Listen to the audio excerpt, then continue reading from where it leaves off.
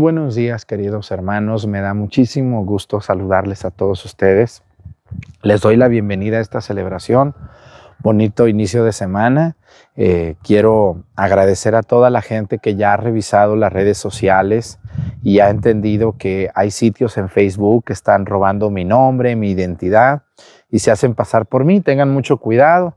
Yo solo tengo un sitio oficial en Facebook que tengo mi nombre completo agregándole padre, padre José Arturo López Cornejo. Les doy la bienvenida. Comenzamos esta celebración de Cuaresma en este pueblito de Topiltepec, en la iglesia de la Sagrada Familia. Incensario.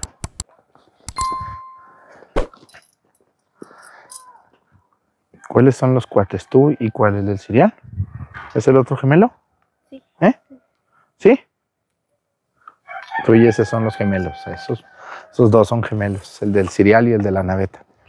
Esos dos muchachones. Reverencia a la cruz. Avanzamos. Aguas arriba. Un saludo para todos ustedes, queridos hermanos. Quise hacer este video para saludarlos y también para pedirles un favor. Fíjense que en la red social Facebook estamos teniendo eh, muchos, muchos sitios con el nombre del Padre Arturo Cornejo que no son del Padre Arturo Cornejo o que no son llevados por mi equipo. Yo les quiero pedir un gran favor, les voy a pedir que vayan ahorita o en el lapso de este día o de mañana o de pasado, vayan lo más pronto posible a Facebook y vean en qué sitio me siguen. Hay más de 10 sitios con mi nombre, por ejemplo, les muestro los sitios piratas aquí, si quieren se los muestro. Aquí les dejo Padre Arturo Cornejo, no soy yo. Padre J. Arturo Cornejo, no soy yo. Enseñanzas del Padre Arturo Cornejo, no soy yo. Y otros más que están aquí. Algunos de estos sitios, eh, bueno, ¿y cuál sí es de usted, Padre? Muy bien, a ver, mi editor, a continuación. Les dejo 10 segundos mi sitio oficial, mi sitio y mi único sitio oficial en Facebook. Paz, ahí está. Como pueden ver, es completo. Dice Padre José Arturo López Cornejo. Correcto y completo. Ahorita estábamos en 400 mil suscriptores. Ese es el único sitio oficial. Muy bien. De todos los otros sitios que no son míos, yo no soy responsable. No sé quién los lleve o por qué lo haga, pero algunos de ellos están haciendo mal uso. Tenemos, tenemos pruebas vía Messenger de que uno de ellos ha pedido dinero en mi nombre, que porque me van a operar de la rodilla, cuando yo estoy bien de la rodilla, que para el funeral de mi papá, cuando mi papá dejó todo arreglado, que porque vamos a comprar las flores de la Virgen, cuando nosotros jamás les pedimos para eso, y otras personas que tratan de pasar por mí, hacerse pasar por mí. Tengan mucho cuidado. Si ustedes quieren donar, la cuenta está aquí, se las dejo. Es en Santander, la cuenta se llama Guisgallet SADCB y pueden también hacer su depósito vía telégrafos. Pueden ir ustedes a telégrafos y ahí hacerlo. Lo otro que también les quiero decir es que hay grupos que se pueden formar en Facebook. Yo puedo hacer un grupo donde diga cocinando con Chepina Peralta, la de mi, estado, que hacía recetas, ¿no? O puedo hacer cambiando cambiando autos con don Fulgencio. O puedo hacer yo un grupo que diga viendo las estrellas con doña Chana. Puedo hacer yo un grupo de lo que yo quiera y sin, sin yo aparecer como que yo soy el dueño del grupo o el moderador. Esto ha pasado con personas que han hecho grupos con mi nombre y entonces todo mundo puede entrar allí y todo mundo puede subir lo que le dé su gana. Y entonces hay gente que se mete a estos grupos que no son mis grupos, no son míos, pero sí hay quien cree que son míos, por eso quiero aclarar. Y han subido venta de lavadoras, venta de bonos del ahorro, eh, mm, propaganda de arreglar este, refrigeradores y también han, han, este, han, han subido pornografía y cosas de las cuales yo no soy responsable ni tengo nada que ver en eso. Entonces, les invito, hermanos, les quiero pedir ese gran favor. Vayan a su sitio de Facebook y vean si verdaderamente ustedes me están siguiendo. Si tienen dudas, si no pueden ir, mándenme un WhatsApp. Aquí aparece el WhatsApp y díganme, Padre Arturo, ¿me podría mandar, por favor, sus sitios oficiales? y nosotros un día, dos o tres días más les estaremos reenviando por WhatsApp los sitios oficiales. Les pido dejar de seguir esos sitios piratas o que no son ciertos, esos sitios que no son ciertos o que no son verdad o que no soy yo y empezar a seguir mi único sitio oficial. Les agradezco de todo corazón, que Dios les bendiga.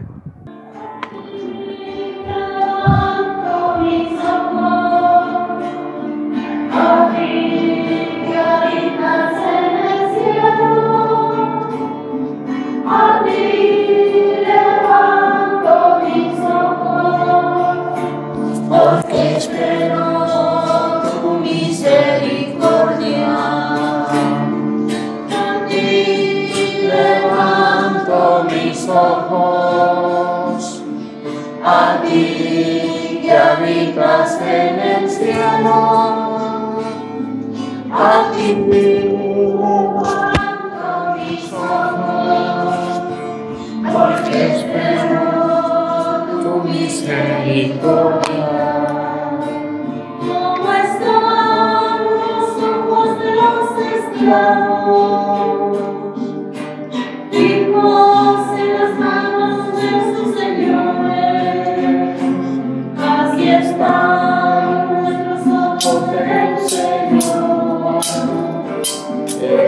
esperando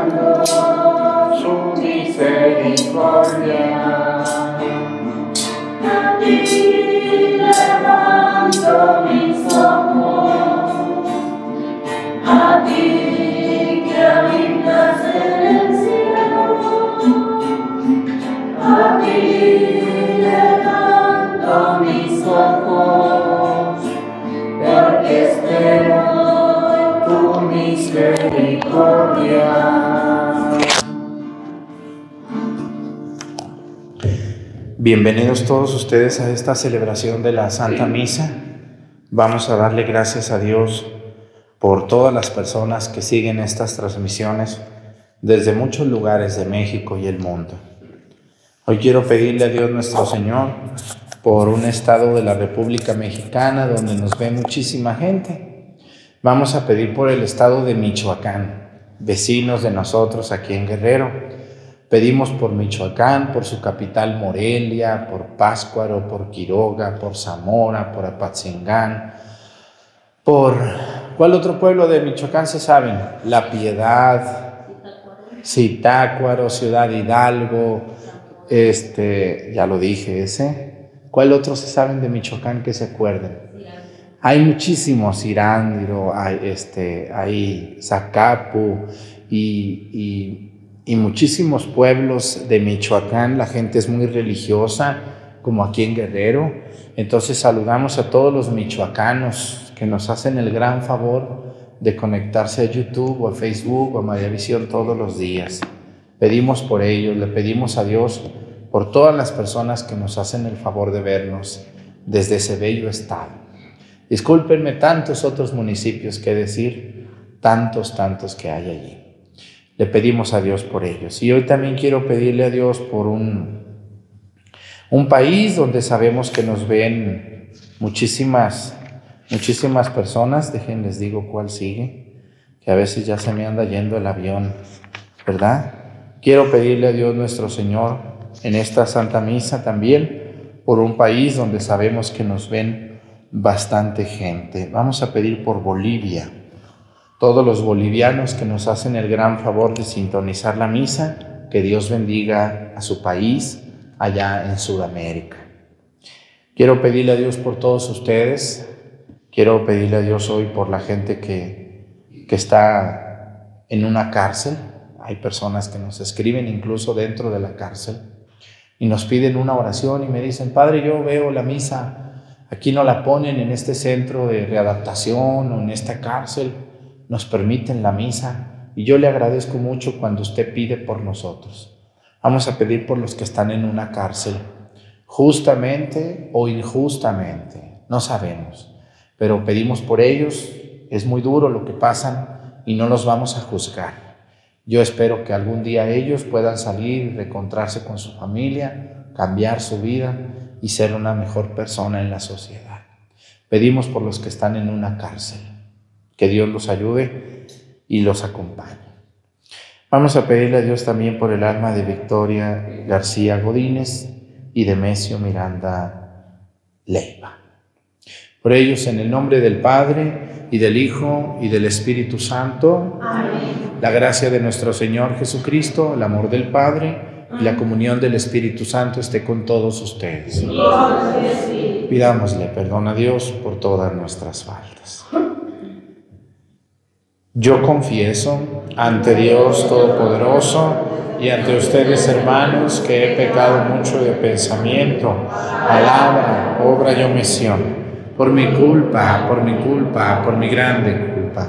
Por eso ruego a Santa María, siempre Virgen, a los ángeles, a los santos y a ustedes, hermanos, que intercedan por mí ante Dios nuestro Señor.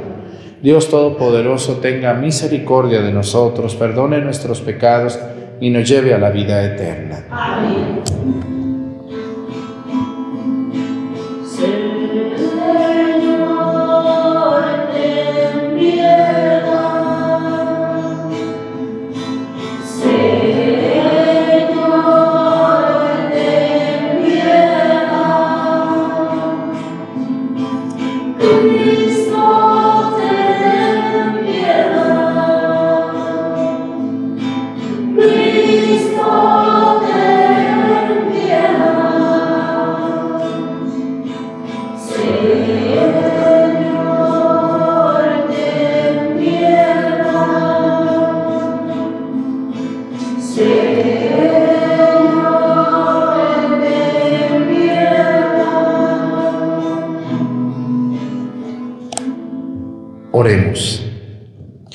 Señor Dios que nos mandaste mortificar nuestros cuerpos para sanar nuestras almas, concédenos poder evitar todo pecado y que nuestras voluntades sean capaces de aplicarse a cumplir los mandamientos de tu amor.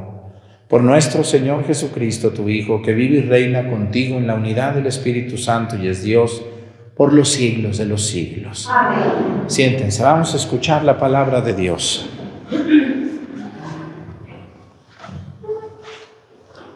Del libro de Levítico.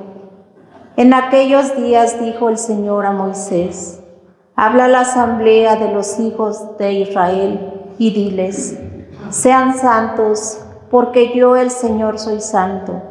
No hurtarán, no, no mentirán, ni engañarán a su prójimo, no jurarán en falso por mi nombre. Eso sería profanar el nombre de su Dios yo soy el Señor. No primas ni explotes a tu prójimo. No retengas hasta el día siguiente el salario del que trabaja para ti.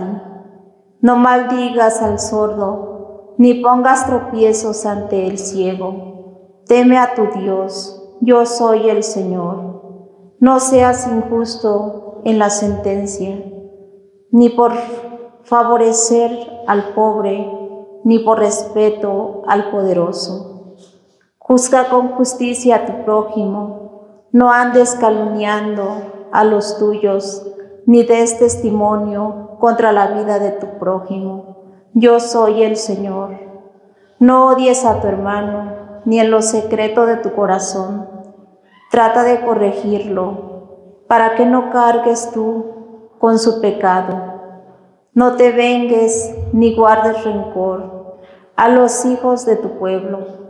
Ama a tu prójimo como a ti mismo. Yo soy el Señor.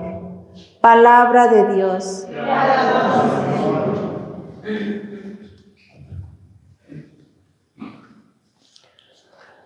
Tus palabras, Señor,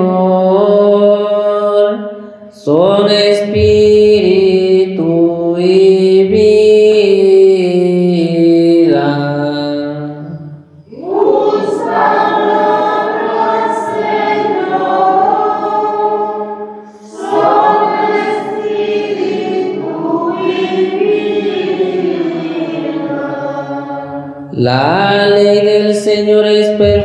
del todo y reconforta el alma. Innumerables son las palabras del Señor y hace hacen sabio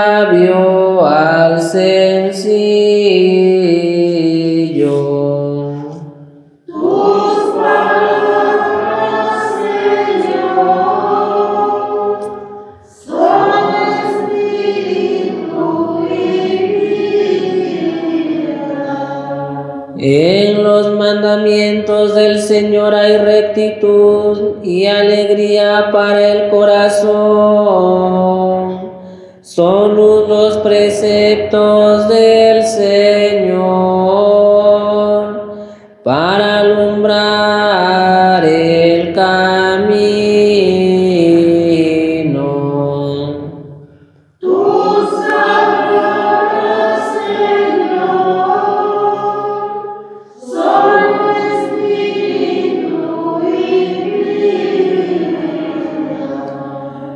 La voluntad del Señor es santa y para siempre estable. Los mandatos del Señor son verdaderos y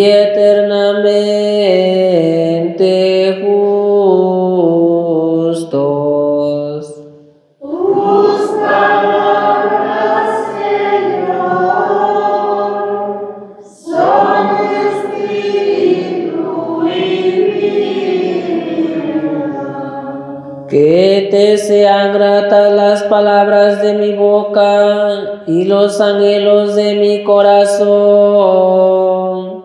Al Señor que siempre te busque, pues eres mi refugio y salvación.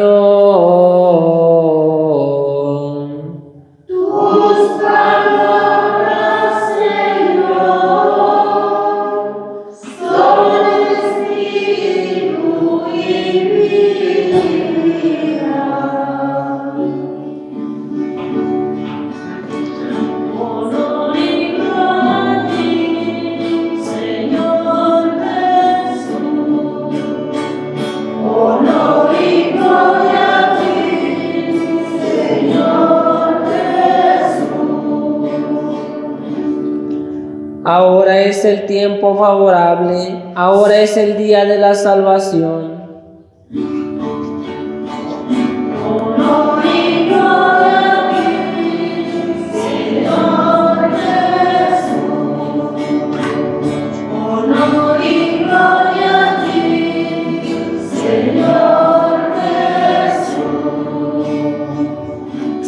El Señor esté con ustedes. Lectura del Santo Evangelio según San Mateo.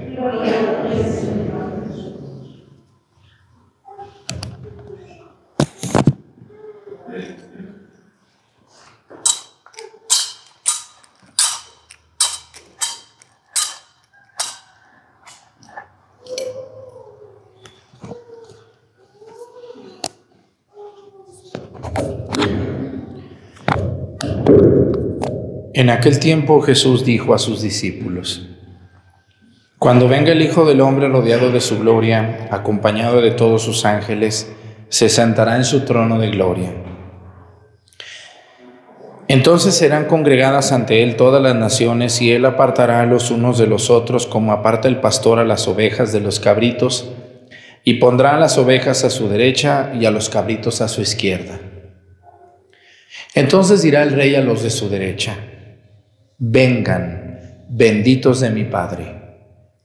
Tomen posesión del reino preparado para ustedes desde la creación del mundo.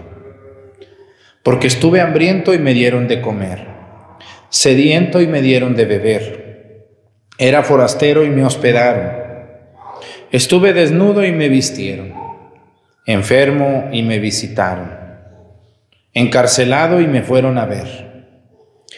Los justos le contestarán entonces, Señor, ¿cuándo te vimos hambriento y te dimos de comer?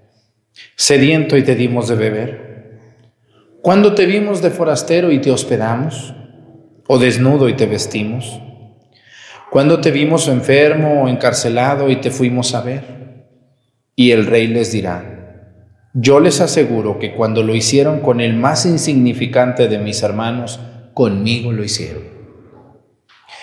Entonces dirá también a los de su izquierda,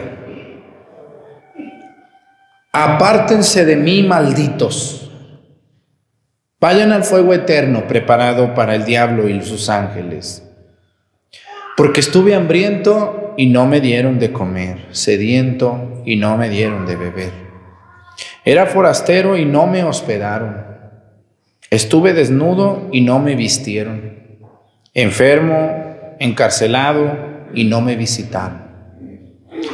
Entonces ellos le responderán, Señor, ¿cuándo te vimos hambriento o sediento, de forastero o desnudo, enfermo o encarcelado y no te asistimos? Y él les replicará, yo les aseguro que cuando no lo hicieron con uno de aquellos más insignificantes, tampoco lo hicieron conmigo. Entonces irán estos al castigo eterno y los justos a la vida eterna. Palabra del Señor. Gloria a ti, Señor Jesús. Siéntense, por favor. Si pudiéramos hablar de algo que una vez una persona en la calle me dijo, oiga, ¿para qué sirve la religión? La religión sirve para dos cosas. La primera es para que le demos esperanza a nuestra vida, para que nuestra vida camine, para que nuestra vida tenga sentido, conociendo las cosas de Dios. Porque una, una persona que conoce a Dios termina sintiéndose feliz, termina sintiendo que hay un Dios que la ama, que la quiere, que la escucha, que va con esta persona cuando se siente sola, triste, preocupado, enfermo, para eso sirve la religión. Ese es un primer motivo por el cual sirve la religión. Pero también hay otro motivo. No solamente es para que yo me sienta bien. También la religión tiene que servir para que yo sea una buena persona con los demás.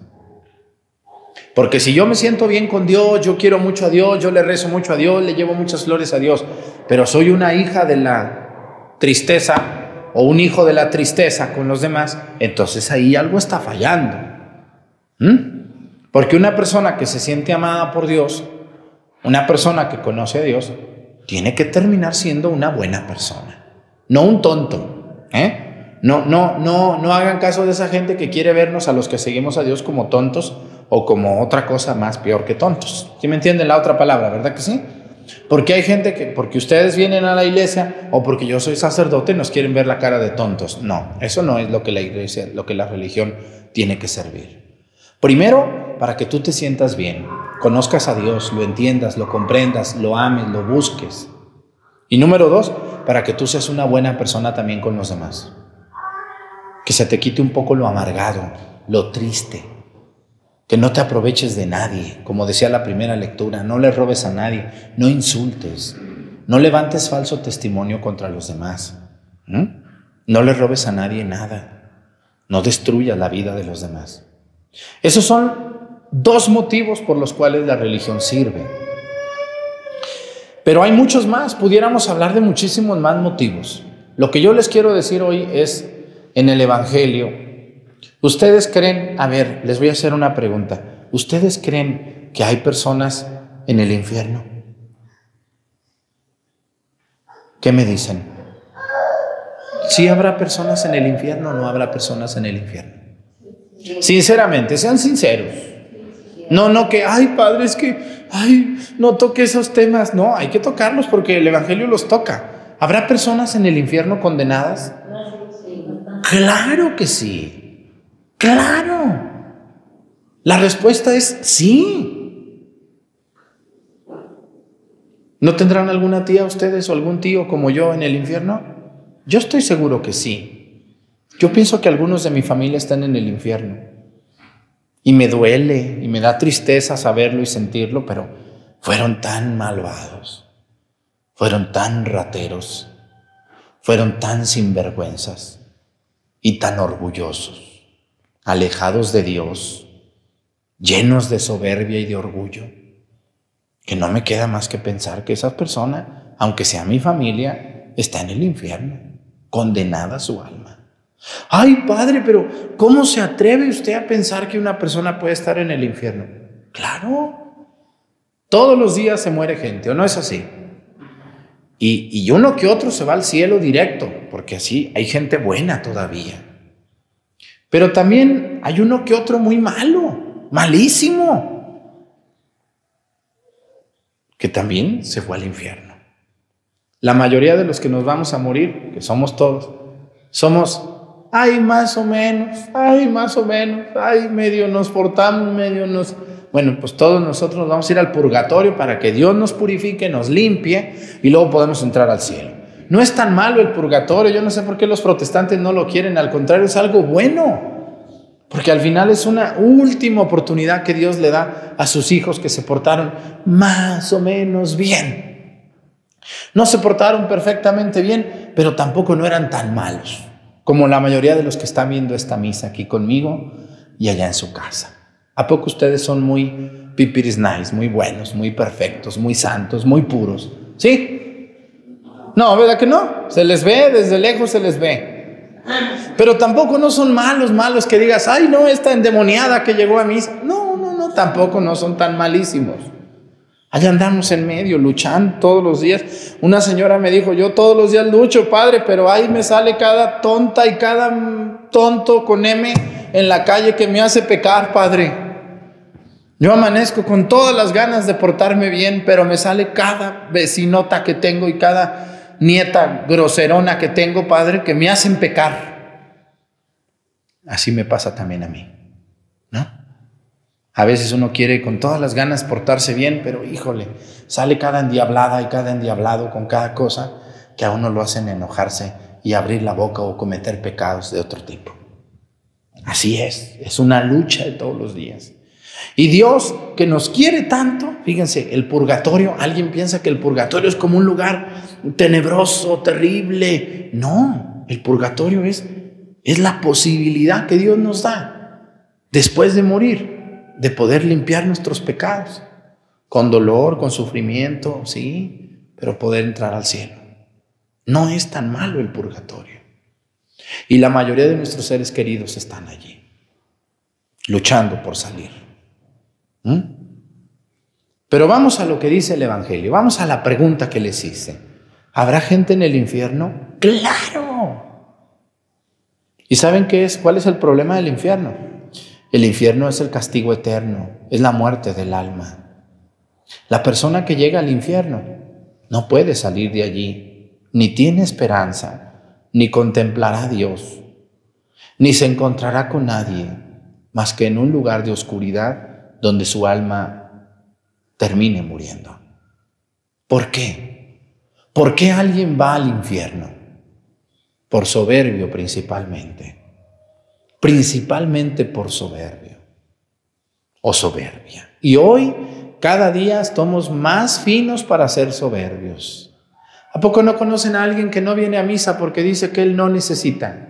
Díganme si no conocen ustedes a alguien que dice que no necesita de la misa. ¿Conocen a alguien? Sí, y está en nuestra familia, Padre. ¿No conocen a alguien que no se quiere confesar? Que porque, ¿cómo él se va a confesar con un pecador igual que él?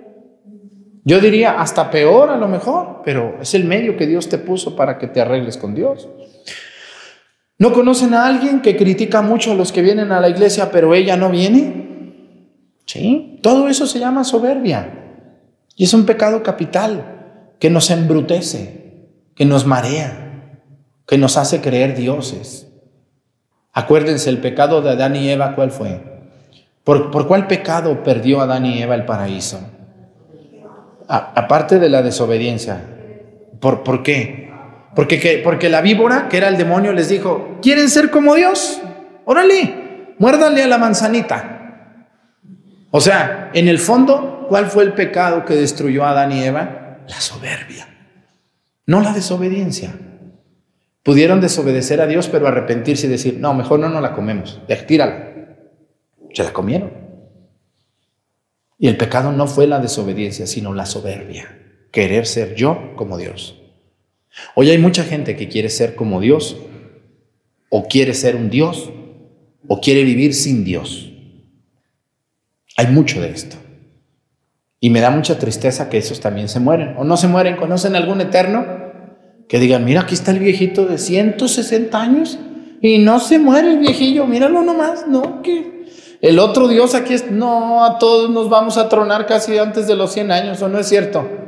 ¿Eh? Soberbios y altaneros, orgullosos, creídos, majaderos, chaparros, morenos, güeros, prietos, gordos, flacos, guapos, feos, altas, gordas, ojonas y desojonas y de todo. Así es. Todos iremos. Y fíjense lo que dice el Evangelio. Yo les quiero invitar de todo corazón, si ustedes y yo nos queremos ir al cielo, Dios nos va a medir en dos cosas, en el amor que le tuvimos a Él, que yo creo que todos ustedes y muchísima gente ama a Dios de manera inmedible, o sea, le cantan, le rezan, van a misa, comulgan, lo quieren, hasta ven al Padre Artú, escuchan la palabra de Dios, se la saben de memoria, cantan y todo lo que hacen en la iglesia y fuera de la iglesia habla de un amor tremendo a Dios. La gente que le trae flores, todo eso es medible porque es el amor a Dios. ¿Cuántas personas portan su escapulario? ¿Cuántas personas pertenecen a una asociación, a una hermandad, a un grupo? Muchísima gente. Esa es una manera de medir a Dios, de medir el amor a Dios, el amor a Dios. Los que nunca vienen a nada y dicen que aman a Dios, a ver, a ver, a ver, ustedes les creen. Porque Cristo dijo, tomen y coman. Hagan esto en memoria mía. Esa gente que no viene a misa no está obedeciendo a Dios, porque Jesús dijo, tomen y coman, este es mi cuerpo, tomen y beban. Hagan esto en memoria mía. Una persona que no viene a misa ¿A quién está desobedeciendo? ¿Al cura loco que les está hablando? ¿A su mamá que te está diciendo que vayas? ¿A tu papá? ¿A tu madrina? No. Cuando tú no vienes a misa el domingo, a la única persona que estás desobedeciendo es a Cristo mismo. Cuando Él dijo, tomen y coman. Hagan esto en memoria mía. ¿Lo dijo Jesús o no lo dijo Jesús? Sí, y en los cuatro evangelios está. Es un imperativo presente, es una orden de Dios para todos. Entonces, una persona que no viene a misa nunca, pues, pues yo que ama a Dios, pues sabrá Dios a cuál Dios, o sabrá Dios cómo amará a Dios, no sé cómo hacerle, ¿verdad? Eso es, eso es medible, pero, pero hay algo más difícil. Fíjense lo que dice aquí el Evangelio. Dice que Dios apartará del lado derecho a quiénes? ¿A quiénes? ¿Cómo se llaman? a los corderos, a las ovejas. Y del lado derecho y del lado izquierdo, a los machos cabritos. Cabritos con T, no con N. Cabritos. ¿Sí me entienden la otra palabra, verdad que sí? Bueno, eso no lo dijo el Señor, pero yo, para que me entiendan bien. Al lado izquierdo va a poner a todos los cabritos. O sea, a los animales más desobedientes, desordenados, que no se dejan amansar, que son brutos, que son intranquilos, que son cabezones, que tendrán algún animal así, ¿no? De cuatro patas y uno que otro de dos. También hay una que otra cabrita y cabrito. ¿eh? Dice el Evangelio, lo dice, lo escuchamos. Y dijo el Evangelio, dice, entonces voy a fijarme, dice, voy a fijarme en, la, en, la, parte de los de la izquierda, de la izquierda, los cabritos. Dice que cuando venga el juicio final, porque, ay, a mí me da tanto gusto que exista el juicio, ¿no les da gusto saber que algún sinvergüenza se muere y va a ser juzgado por Dios? ¿No les da gusto?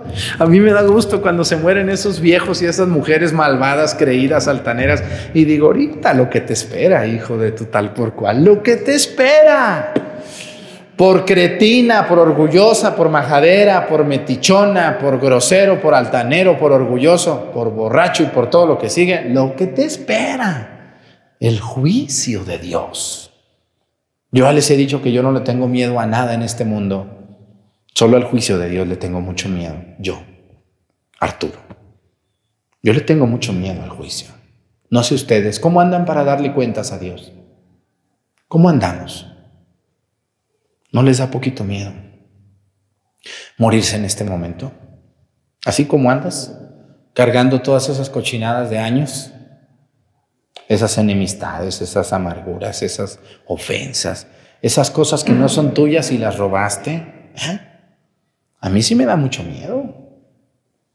Y más cuando escucho este evangelio, hagan de cuenta como que me estiran las greñas, así siento que alguien, como que el ángel de la guarda me dice, mira, yo te dije, mira, cabezona, mira, viejo hablador. Yo así siento, porque leo el evangelio con mucho cuidado y me doy cuenta que aguas. No, pero Dios es misericordioso, Dios es... sí, claro, pero tú eras una metichona y un majadero y un orgulloso. Y Dios te va a perdonar si lo mereces, pero ¿a poco mereces el perdón de Dios con todo lo que hiciste daño? Con todo el daño que cometiste, con todos los abusos que cometiste, ¿tú crees que mereces el perdón de Dios? Si a nadie le devolviste lo que no era tuyo, tuviste una vida muy puerca, muy cochina. Leemos lo que dice el Evangelio a ver si no les da miedo. Dice que dice, entonces dirá también a los de su izquierda, a los cabritos, apártense de mí, malditos. Así dice aquí la palabra malditos. Boca de Jesús, está en la boca de Jesús esta palabra tan fuerte. Porque el que te dice maldito o maldita, es muy fuerte esta palabra, ¿o no es muy fuerte? Muy ofensiva. Y Jesús la dijo. Está en los Evangelios, capítulo 25 del Evangelio de San Mateo. Apártense de mí, malditos. Vayan al fuego eterno, dice, preparado para ustedes y para el diablo y sus ángeles. Porque estuve hambriento y no me dieron de comer, sediento y no me dieron de beber, era forastero y no me hospedaron. Estuve desnudo y no me vistieron, enfermo y encarcelado y no me visitaron. La segunda cosa por la que se mide la entrada al cielo, primero es el amor a Dios, que ya les hablé de qué manera. Y la segunda es el amor al prójimo. ¿Qué quiere decir esto? Que cuando, cuando alguien nos pida un favor y podamos hacerlo, hay que hacerlo. No se trata solo de dar dinero, no se trata solo de dar comida. Hay personas que necesitan tiempo. Hay personas que están pidiendo que los visites. ¿Mm? Todos ustedes tienen a alguien de su familia que está muy solo. Hay personas que necesitan a veces una cobijita, una ropita. Hay personas que a veces necesitan quien nos acompañe a comer.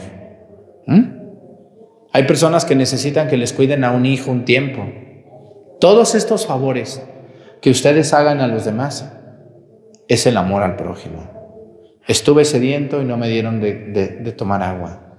Estuve desnudo y no me vistieron. Estuve enfermo y no me visitaron. Estuve en la cárcel y no me fueron a ver. Estuve de forastero y no me hospedaron. Y aquí se refiere a los que no son tu familia.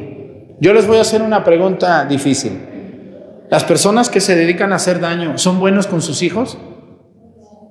Claro. ¿Ustedes creen que los rateros, los secuestradores, los asesinos y los violadores no tendrán hijos? Si tienen, ¿cómo tratarán a sus hijos? De maravilla, pues son sus hijos. Son sus hijos, eso es normal. Yo conozco viejos creídos, majaderos, que tratan muy bien a sus hijos, pues sí, son tus hijos. Dios no te va a premiar por eso. Ni modo que le aplauda a Dios a una madre o a un padre que fue bueno con sus hijos, pues ese es tu deber, es tu obligación. Aquí no se trata de los hijos, ni de los hermanos. Aquí se trata de los que no son tus hijos, ni de los que son tus hermanos, ni de los que son nada tuyo. Del que te encuentras en la calle y te dice, no he comido, no tendrá algo de comer.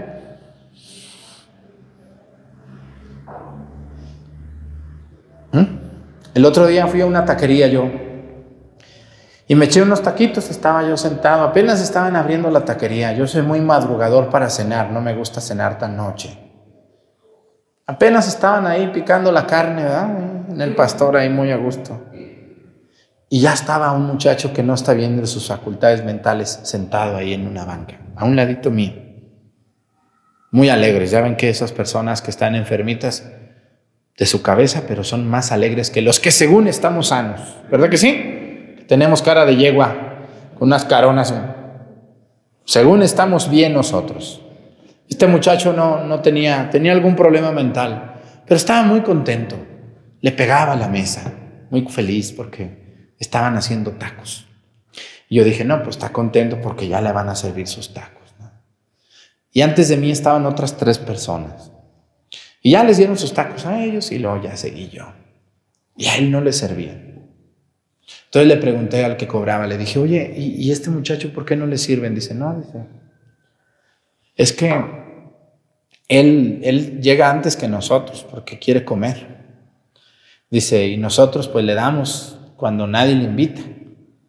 Y dice, pero, pero ya se le hizo costumbre y ya no sale muy caro, ¿verdad?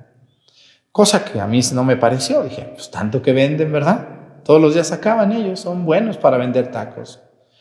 Y, y le dije, ¿y por qué está tan contento? Dice, no, él pega a la mesa, dice, porque llama la atención. Entonces yo este, le estaba queriendo platicar con él cuando le sirvieron unos tacos. Yo le iba a pagar sus tacos, pero me ganó alguien. Y, y ya mejor le di un dinerito, le di un dinerito y le dio más gusto todavía. Y a mí me dio mucho gusto que la persona que le invitó, pues era una persona muy rica, ¿no? Y le dijo, dale los tacos, pero no le digas quién se los dio. Y entonces yo me acordé de tanta gente que sigue habiendo buena. Yo creo que ustedes y yo vemos noticias y nos damos cuenta de muchas noticias negativas, pero yo les quiero platicar que todavía hay mucha gente buena. ¿eh? Todavía la inmensa mayoría de los mexicanos no somos tan malos. Hay mucha gente buena. Ustedes han de conocer a mucha gente que todavía es capaz de compartir, de dar, de atender, de saludar, de platicar con educación y con respeto. Yo les invito a ustedes, los que ven la misa todos los días y los que están aquí conmigo, hey, hay que ser la diferencia. Si Dios nos pone la oportunidad para ayudar a alguien, a veces el que nos pide ayuda no nos está pidiendo mucho. Nos está pidiendo un saludo, un buenos días, un buenas tardes, unos tacos.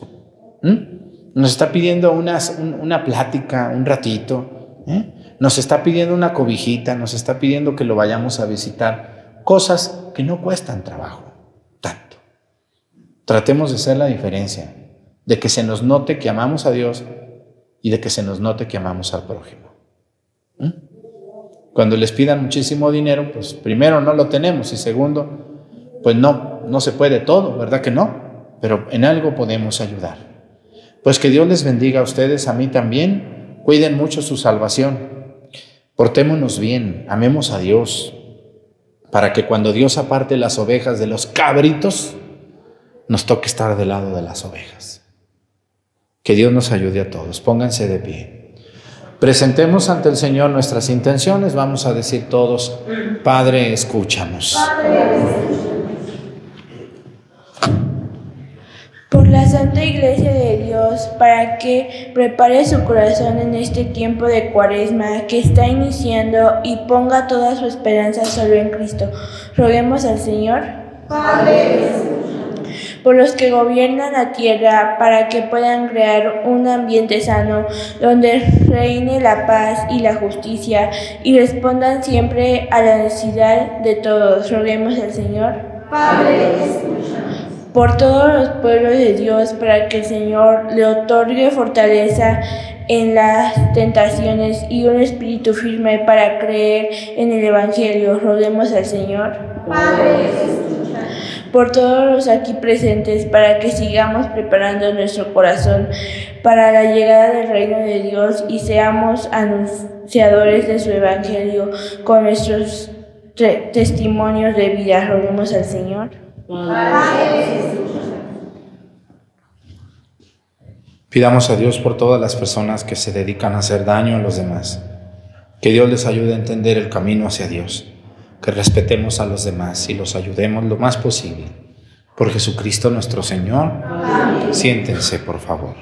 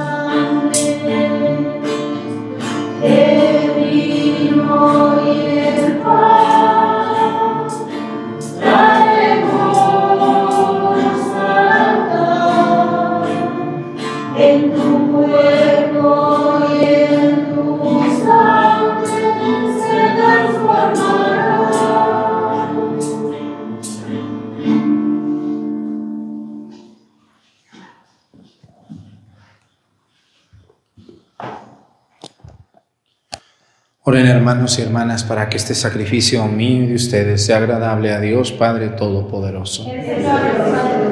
Este sacrificio para alabanza y gloria de su nombre, para nuestro bien y de toda su santa iglesia.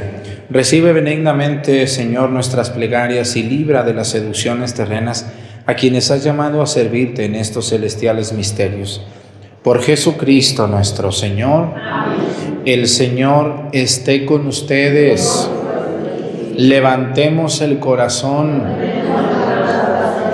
Demos gracias al Señor nuestro Dios. En verdad es justo y necesario, es nuestro deber y salvación darte gracias siempre y en todo lugar, Señor Padre Santo, Dios Todopoderoso y Eterno, porque misericordiosamente estableciste este tiempo especial de gracia, para que tus hijos busquen de nuevo la pureza del alma y así libres de todo afecto desordenado, de tal manera se apliquen a las realidades transitorias, que más bien pongan su corazón en las que duran para siempre. Por eso con todos los ángeles y los santos te alabamos, diciendo sin cesar el himno de tu gloria.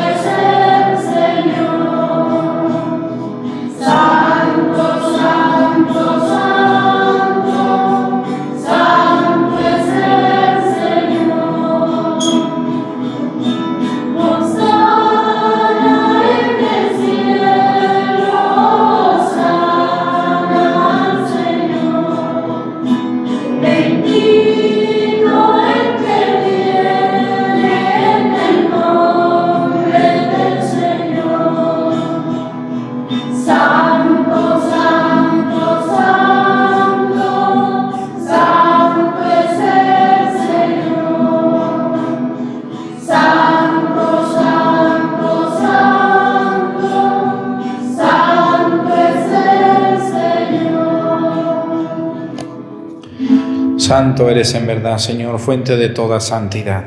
Por eso te pedimos que santifiques estos dones con la efusión de tu Espíritu, de manera que se conviertan para nosotros en el cuerpo y la sangre de Jesucristo nuestro Señor, el cual, cuando iba a ser entregado a su pasión voluntariamente aceptada, tomó pan.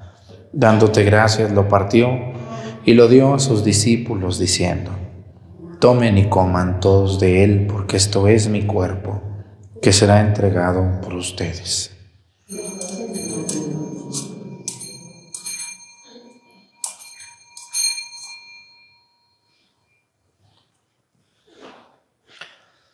Del mismo modo, acabada la cena, tomó el cáliz y dándote gracias de nuevo, lo pasó a sus discípulos diciendo, tomen y beban todos de él, porque este es el cáliz de mi sangre, sangre de la alianza nueva y eterna, que será derramada por ustedes y por muchos para el perdón de los pecados. Hagan esto en conmemoración mía.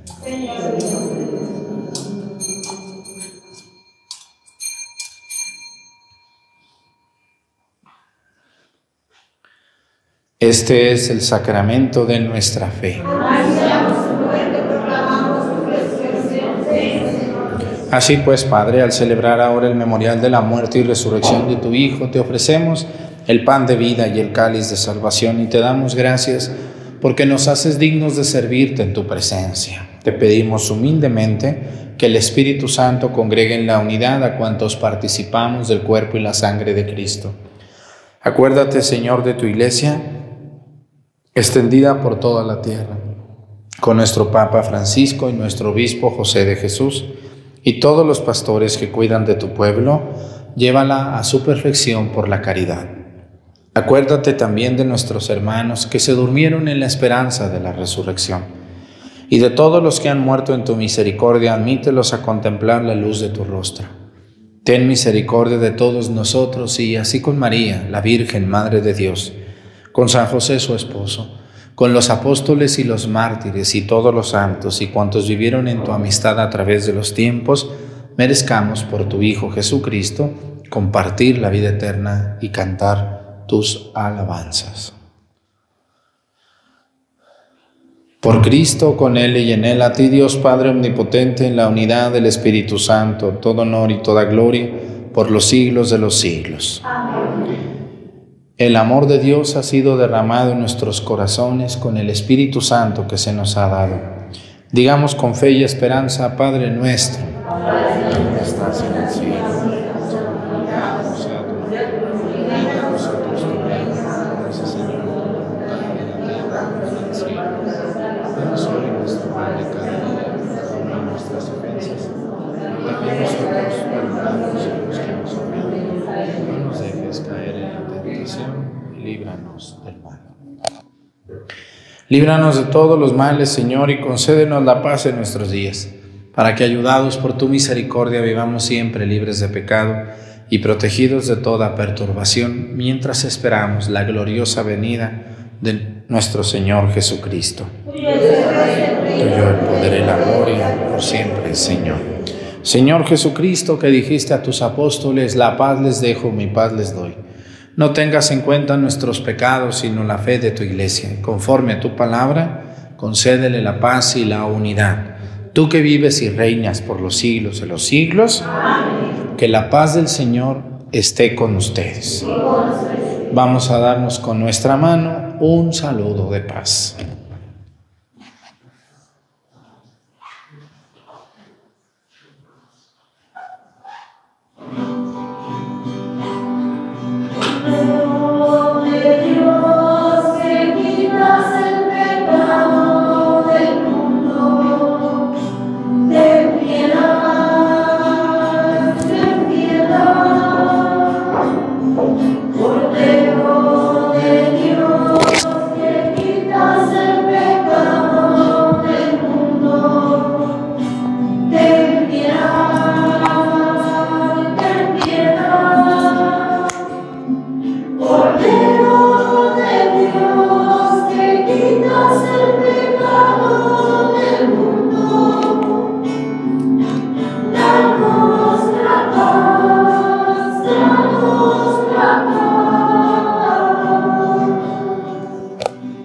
Es Cristo, es el Cordero de Dios que quita los pecados del mundo.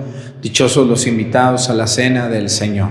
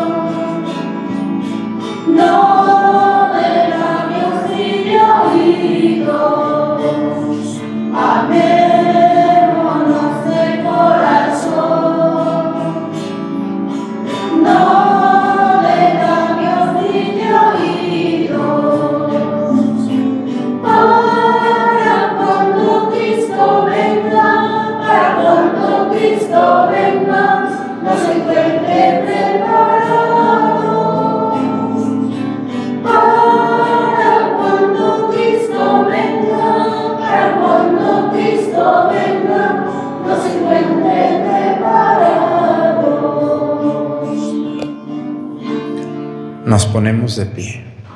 Qué canto tan cierto, ¿verdad que sí? ¿Eh? Amémonos de corazón, dice, no le labios ni de oídos, dice. Qué gran canto. Yo me acuerdo de mi infancia cuando se cantaba, hoy ya todo el mundo se siente santo ya ahorita. Oremos.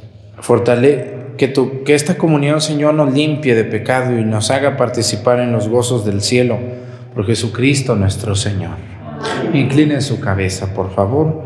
Fortalece, Señor, los corazones de tus fieles y afiánzalos con la fuerza de tu gracia, para que sean fervorosos en la oración y sinceros en el amor mutuo por Jesucristo nuestro Señor. Pues muchas gracias a toda la gente que nos ve, a los que nos donan, a los que nos ayudan, a toda la gente que ve la misa, que le da me gusta. Muchísimas gracias. Revisen muy bien que estén en los sitios oficiales, porque hay muchos piratas que usan mi nombre, mi foto y todo, ¿verdad? Pero pues tengan cuidado, por favor. El Señor esté con ustedes. La bendición de Dios Padre, Hijo y Espíritu Santo descienda sobre ustedes y permanezcan para siempre. Que tengan muy bonito día. Nos vemos mañana.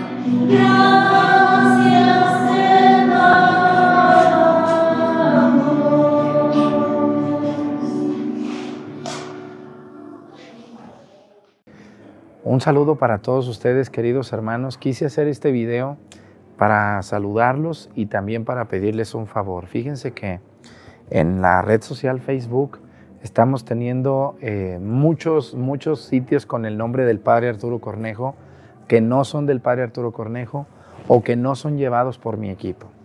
Yo les quiero pedir un gran favor, les voy a pedir que vayan ahorita o en el lapso de este día o de mañana o de pasado, vayan lo más pronto posible a Facebook y vean en qué sitio me siguen. Hay más de 10 sitios con mi nombre, por ejemplo, les muestro los sitios piratas aquí, si quieren se los muestro. Aquí les dejo Padre Arturo Cornejo, no soy yo. Padre J. Arturo Cornejo, no soy yo. Enseñanzas del Padre Arturo Cornejo, no soy yo. Y otros más que están aquí. Algunos de estos sitios, eh, bueno, ¿y cuál sí es de usted, Padre? Muy bien, a ver, mi editor, a continuación. Les dejo 10 segundos mi sitio oficial, mi sitio y mi único sitio oficial en Facebook. Paz, ahí está. Como pueden ver, es completo. Dice Padre José Arturo López Cornejo. Correcto y completo. Ahorita estábamos en 400 mil suscriptores. Ese es el único sitio oficial. Muy bien. De todos los otros sitios que no son míos, yo no soy responsable. No sé quién los lleve o por qué lo haga, pero algunos de ellos están haci- haciendo mal uso. Tenemos, tenemos pruebas vía Messenger de que uno de ellos ha pedido dinero en mi nombre, que porque me van a operar de la rodilla, cuando yo estoy bien de la rodilla, que para el funeral de mi papá, cuando mi papá dejó todo arreglado, que porque vamos a comprar las flores de la Virgen, cuando nosotros jamás les pedimos para eso, y otras personas que tratan de pasar por mí, hacerse pasar por mí. Tengan mucho cuidado. Si ustedes quieren donar, la cuenta está aquí, se las dejo. Es en Santander, la cuenta se llama Guis Gallet SADCB y pueden también hacer su depósito vía telégrafos. Pueden ir ustedes a telégrafos y ahí hacerlo. Lo otro que también les quiero decir es que hay grupos que se pueden formar en Facebook. Yo puedo hacer un grupo donde diga cocinando con Chepina Peralta, la de mi, la de mi estado, que hacía recetas, ¿no? O puedo hacer cambiando, cambiando autos con don Fulgencio. O puedo hacer yo un grupo que diga viendo las estrellas con doña Chana. Puedo hacer yo un grupo de lo que yo quiera y sin, sin yo aparecer como que yo soy el dueño del grupo o el moderador. Esto ha pasado con personas que han hecho grupos con mi nombre y entonces todo mundo puede entrar allí y todo mundo puede subir lo que le dé su gana. Y entonces hay gente que se mete a estos grupos que no son mis grupos, no son míos, pero sí hay quien cree que son míos, por eso quiero aclarar. Y han subido venta de lavadoras, venta de bonos del ahorro, eh, mm, propaganda de arreglar este, refrigeradores y también han, han, este, han, han subido pornografía y cosas de las cuales yo no soy responsable ni tengo nada que ver en eso. Entonces, les invito hermanos, les quiero pedir ese gran favor, vayan a su sitio de Facebook y vean si verdaderamente ustedes me están siguiendo. Si tienen dudas, si no pueden ir, mándenme un WhatsApp, aquí aparece el WhatsApp, y díganme, Padre Arturo, ¿me podría mandar, por favor, sus sitios oficiales? Y nosotros un día, dos o tres días más, les estaremos reenviando por WhatsApp los sitios oficiales. Les pido dejar de seguir esos sitios piratas o que no son ciertos, esos sitios que no son ciertos o que no son verdad o que no soy yo y empezar a seguir mi único sitio oficial. Les agradezco de todo corazón, que Dios les bendiga.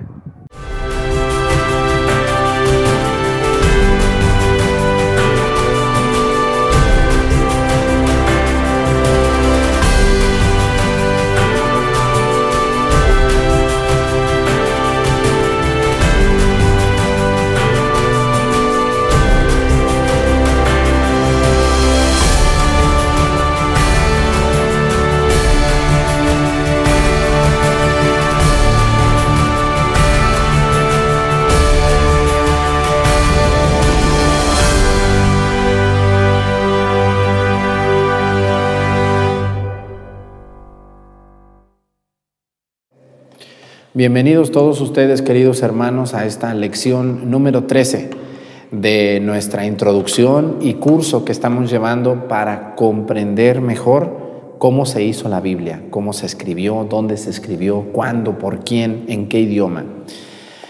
Les invito mucho a todas las personas que por primera vez ven estas lecciones que se vayan a la número uno. No vean por favor esta porque si la ven, no van a comprender todo lo que ya estudiamos y van a tener muchas preguntas que si ustedes ven desde el principio se van a ir respondiendo. Así que por favor váyanse a la lección 1 y luego ya llegarán a esta lección número 13. Sean bienvenidos todos ustedes hermanos estas lecciones. Me da muchísimo gusto saber que muchos se reúnen en familia a verlas, otros en sus grupos parroquiales, en la iglesia. Muchas gracias por hacerme el favor de su atención. Eso a mí me anima mucho, muchísimo, como sacerdote, darme cuenta que mucha gente le sirven estas lecciones. Es muy importante que para estas lecciones tengamos nuestra Biblia con nosotros. Una Biblia de traducción católica, como puede ser latinoamericana, de América, del peregrino, Biblia en América, Biblia de Jerusalén, etc. Son, ahorita vamos a hablar de este tipo de Biblias. Nos habíamos quedado, el, nos habíamos quedado el, episodio, el episodio pasado en este, en este tema maravilloso de en qué lengua se escribió la Biblia y cómo se fue escribiendo. Y ahora vamos a hablar de los códices, es decir, los, las copias de los originales que tenemos, porque habíamos dicho que, y me da mucha tristeza recordarlo y saberlo, pero pues así es la historia, los libros originales los libros autógrafos, o sea, la carta que San Pablo le escribió de puño y letra a los colosenses, pues no la tenemos, esos documentos se perdieron por, por maltratados, por ser de papel muy sencillo, por tener mucha antigüedad. Estamos hablando de documentos, por ejemplo, el Pentateuco de más de 3.000 años, Estamos hablando de las cartas del Nuevo Testamento y todos los libros de hace dos mil años, entonces pues es imposible. Si nosotros tenemos un libro, eh, como yo aquí tengo mi catecismo, miren eh, cómo está ya de amarillosa las páginas, imagínense, no, no tengo con él ni, ni 10 años, entonces pues imagínense un libro, un, un documento manejado con las manos llenas de sudor, de grasa, de agua, de comida, pues es muy fácil que se pierda.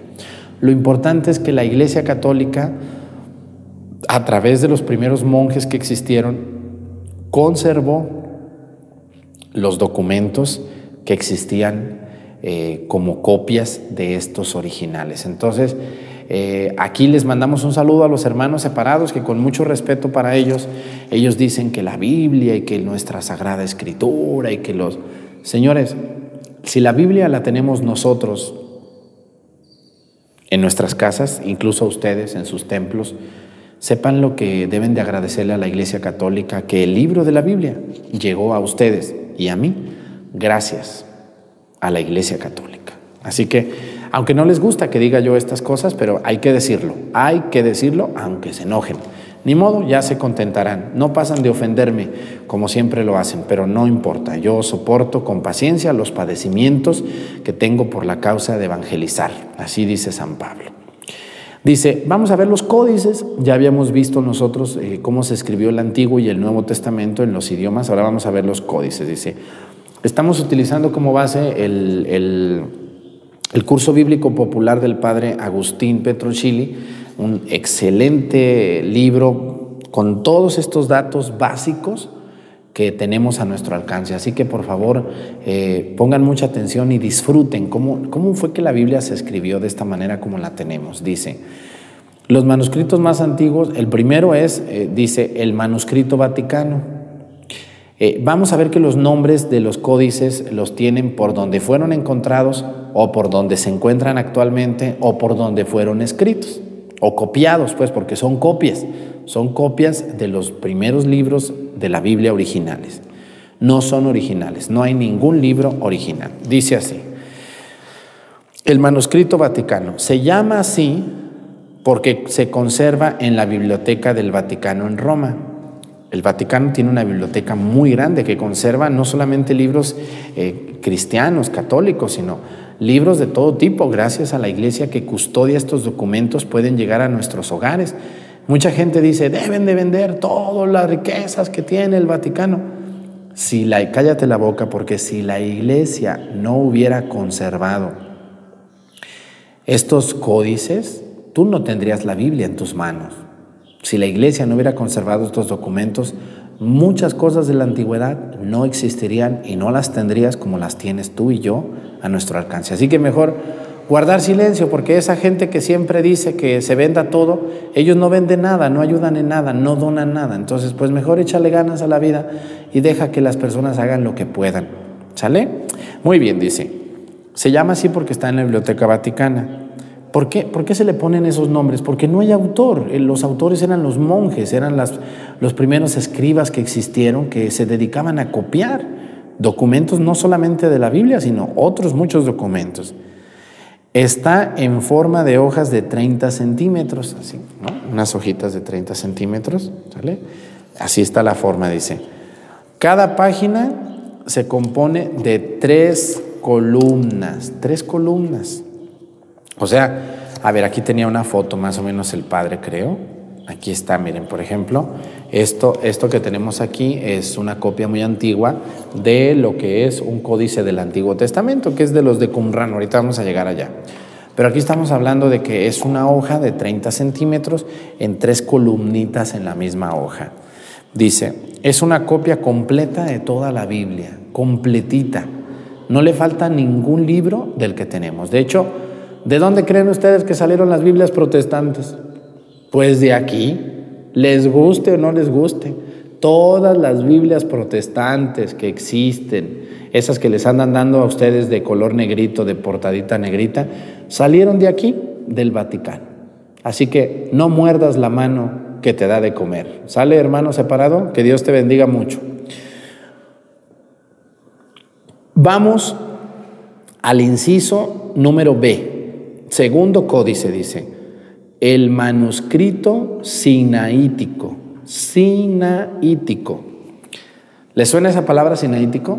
A mí también me suena mucho y me recuerda a un lugar hermoso que pude vivir hace unos días, el Sinaí. El Sinaí, una parte de Egipto en medio de Egipto y Israel, donde pasó el pueblo de Israel, eh, donde Dios le entregó a Moisés las tablas de la ley, donde Dios hizo la alianza con el pueblo de Israel, tú serás mi pueblo, yo seré tu Dios. Precioso. Entonces dice, el manuscrito Sinaí, sinaítico, dice, fue descubierto en el convento de Santa Catalina. Ahí pude dormir, en el monte Sinaí. Contiene algunos libros del Antiguo Testamento y todo el Nuevo. A ver, esto es muy importante. Eh, El monte Sinaí es un cerro grande. Aquí en YouTube tengo un video que se llama Monte Sinaí. Véanlo, por favor. Es la subida. Subí caminando con muchas dificultades, pero alcancé a subir. A los pies del monte Sinaí está este monasterio de Santa Catalina del siglo III, donde vivieron los monjes de la iglesia eh, ortodoxa griega, donde existió ese códice. Y nos platicaba mucho el guía, me acuerdo mucho de que ese códice estuvo ahí. Pero una vez vino un, ciudadano de Europa a investigar la biblioteca y los monjes lo dejaron pasar y ellos no sabían lo que tenían ahí, pues tantos libros guardados, abandonados.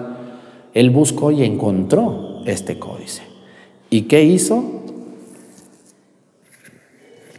Se lo robó, se robó el códice y se lo llevó. Y después va a aparecer allá en Alemania y en, en Roma y en muchos lugares. Y entonces, imagínense nomás qué tesoro tan grande existía en este monasterio. Pues cómo no, si es monasterio del siglo III, entonces los monjes tenían su propia Biblia, se podría decir, eh, que ellos mismos copiaron. Dice, entonces, este es otro manuscrito que tenemos. O sea, a ver, para que me entiendan bien, la Biblia que nosotros tenemos así bien ordenadita, por capítulos, por versículos, por páginas, por todo, pues es producto de todo un trabajo de siglos, de siglos, de siglos de orden que se puso en la Biblia, porque la Biblia, como la tenemos hoy, no estaba así desde el principio. Se fue haciendo. Por eso es muy importante que vayan a las lecciones anteriores no empiecen su curso con esta lección porque se van a quedar así como que a la mitad. Entonces, o se van a quedar así como con muchas lagunas. Pero si usted va a la lección 1, va a comprender muy bien. Bueno, entonces, así son los códices. Vamos al siguiente, dice. El manuscrito alejandrino. Manuscrito quiere decir de mano, el escrito, de alejandrino. Alejandrino viene de la ciudad de Alejandría, pero hay varias ciudades de Alejandría. Dice, llamado así porque se conservó por mucho tiempo en la Alejandría del Egipto de la antigüedad. Todavía existe esta ciudad en la costa norte del mar Mediterráneo de Egipto, ahí está Alejandría. Entonces, hay que recordar que todo el norte de, África era muy católico, muy cristiano en, estos tiempos, en los primeros siglos de la cristiandad. Ahora existe ahí la religión de los musulmanes, pero muchos padres de la iglesia fueron de la norte de África entre ellos San Agustín. Entonces dice, llamado así porque se conservó por mucho tiempo en la Alejandría. Ahí estuvo, dice. Este códice fue escrito probablemente a mediados del año 500. A ver, si nosotros sabemos, en la lección anterior, an, an, hace dos lecciones estábamos diciendo que el Nuevo Testamento se escribió del año 50 después de Cristo, o sea, 17 años después de la muerte y resurrección de Cristo, al año 90 o 100 del mismo siglo. O sea, más o menos 40, 50 años se llevó el tiempo para escribir el Nuevo Testamento.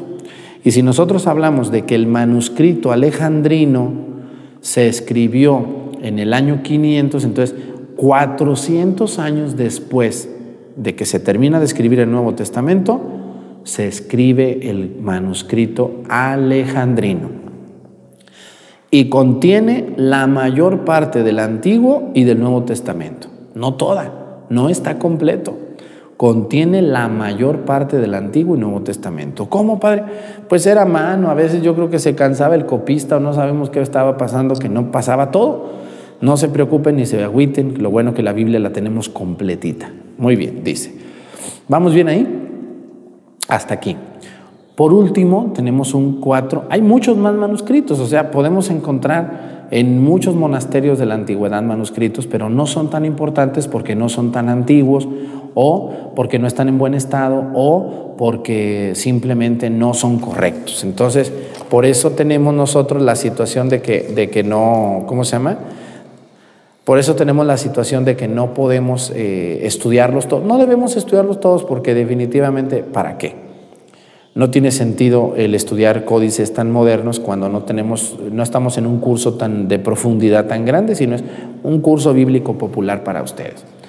Por, último tenemos los manuscritos de Qumran. También ya fui, gracias a Dios, y espero que el próximo viaje a Tierra Santa me acompañen. ¿eh? Vayan juntando centavos. Ahora que pase toda esta situación que estamos viviendo, vamos a poder ir si Dios quiere.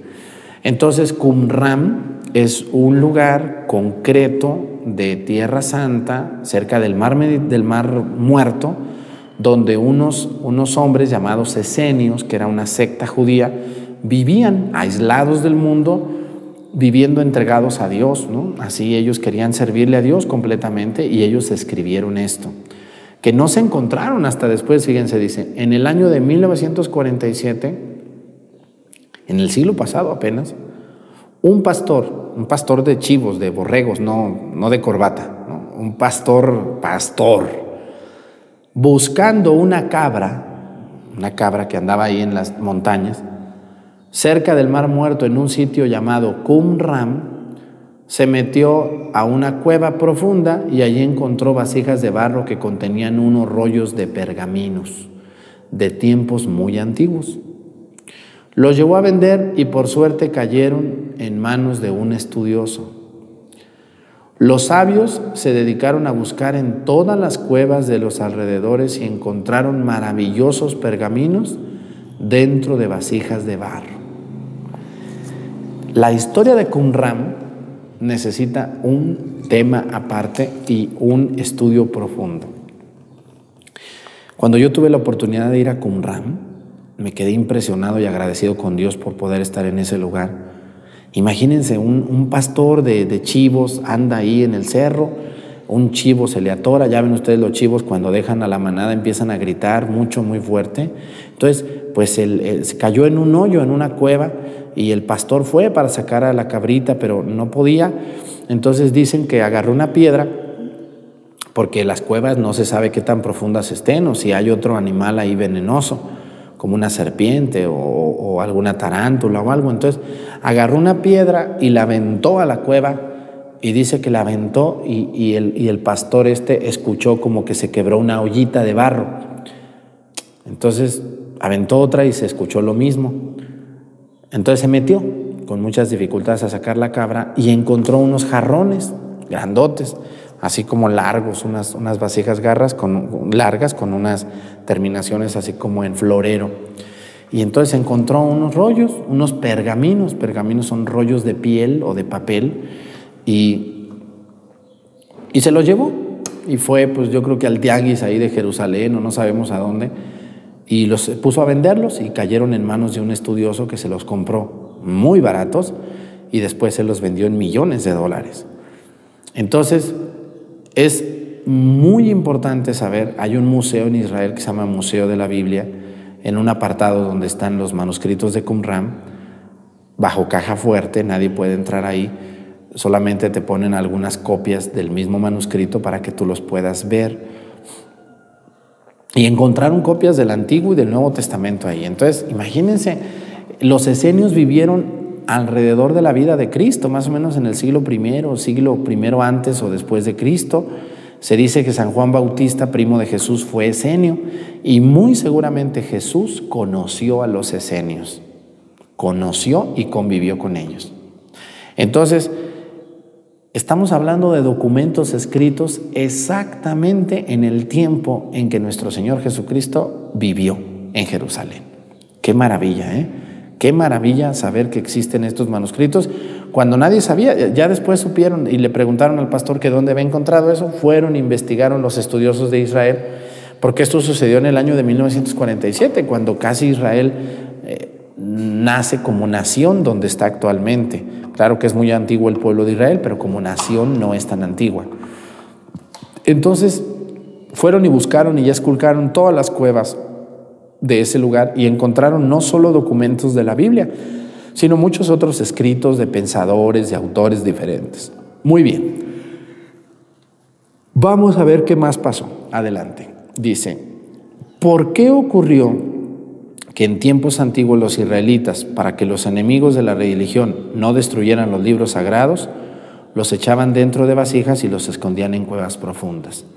Muy bien. ¿Alguna vez ustedes han tomado agua de un cántaro? ¿Han tomado agua de algún cántaro? Acordándome del agua, déjenme tomo poquito.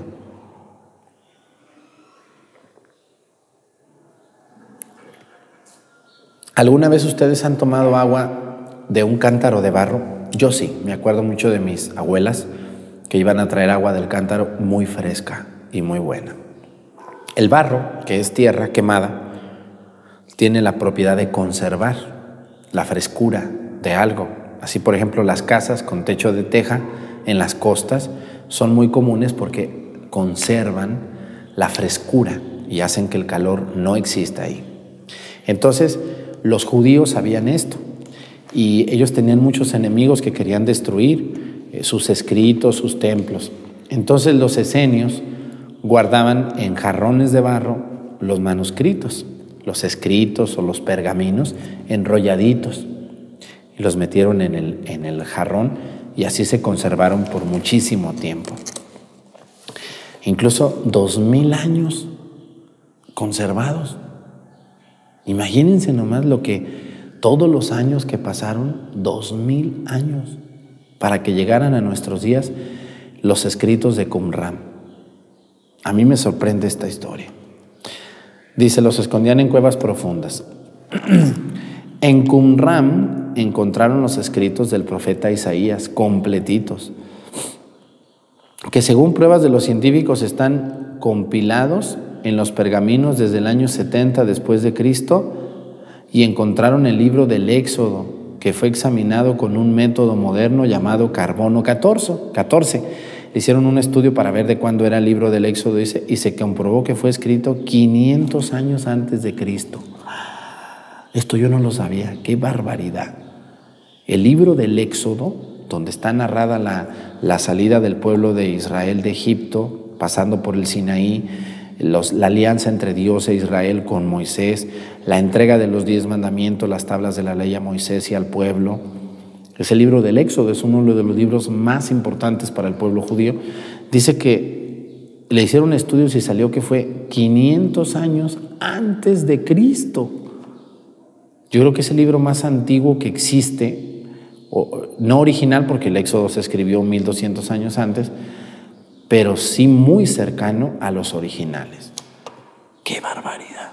Me quedo sorprendido, me encanta saber la historia de la Biblia. Dice, los pergaminos de Qumran son los más importantes y antiguos.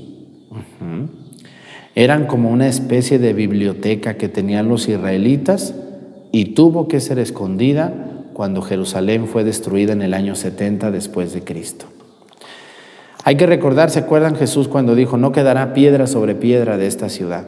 El pueblo de Israel se rebela contra los romanos, los romanos no tienen compasión ni piedad, los romanos cuando veían una trifulca lo que hacían era ve y dales en toda la torre, destruyeles. Entonces, en el año 70 Jerusalén es destruida, como muchas veces fue destruida, pero más esa fecha. Fue destruida, saqueada, quemada. Entonces, los esenios que tenían estos libros, y muchos israelitas guardaron los libros del Antiguo Testamento y parte del Nuevo con los esenios. Y ellos los conservaron en jarrones en esas cuevas que quedaron enterradas. Después los esenios desaparecen, nadie va a buscar nada, no hay datos y se conservan durante dos mil años en esas cuevas. Ahora que vayamos a Tierra Santa vamos a ir, ¿eh? Muy bien, dice. Entonces, esos son los códices. Por lo tanto, nuestras Biblias que tenemos nosotros son copias de esos códices y esos códices son copias de los libros originales. ¿Comprendido? De ahí viene nuestra Sagrada Escritura. ¿Quién guardó estos códices? La Iglesia Católica y el pueblo judío. Con mucha pena, hermanos separados, ustedes no existían, no estaban todavía ahí. Tienen no más de 300 años ustedes con nosotros, gracias a Dios. Mucho respeto para ustedes, pero vamos a analizar y vamos a estudiar con verdad. No nos apasionemos, estudiemos con verdad y sepamos darle a cada quien lo que le corresponde, aunque a mí no me parezca. Me dio mucho gusto haber estado con ustedes en este curso bíblico que estamos teniendo estas lecciones, lección 13. Por favor, quien empezó a ver este video a la mitad o al principio, desde el principio, y no ha visto las lecciones anteriores, váyase a la lección 1 y empiece su curso desde la lección 1 por orden. Si no, no lo van a entender. Pues muchas gracias por estar conectados a través de YouTube. Gracias por suscribirse a mi canal. Ahí aparece suscribirse. Aprieten a la campanita también. Gracias a todos los que nos hacen el favor de ver estos videos con su grupo de su parroquia, por compartir estos videos. Gracias a quienes le ponen este video a su abuelita, a su abuelito que no entiende de YouTube, pero ellos se emocionan con la historia de la Biblia. Muchas gracias a todos ustedes. Que el Señor Todopoderoso nos bendiga en el nombre del Padre y del Hijo y del Espíritu Santo. Amén. Nos vemos pronto en la lección número 14. Hasta la próxima.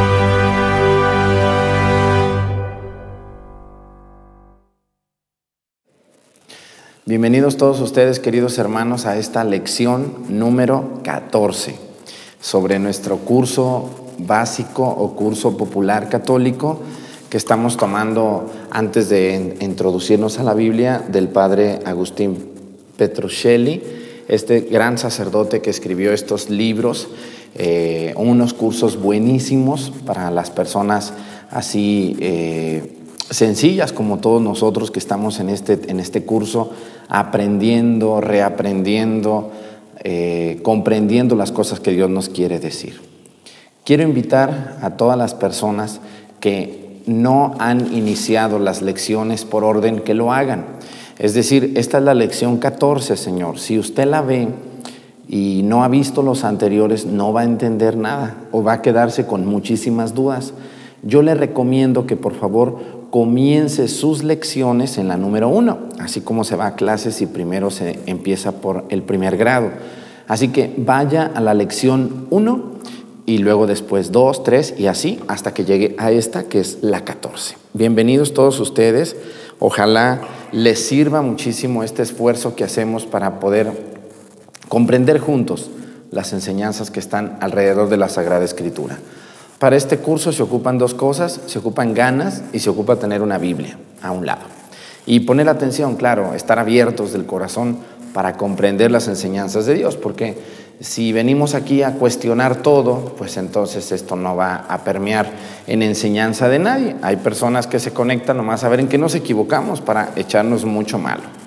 Pero bueno, no les vamos a hacer caso y nosotros vamos a continuar con estos episodios estas lecciones buenísimas que a, mí como sacerdote me están sirviendo mucho.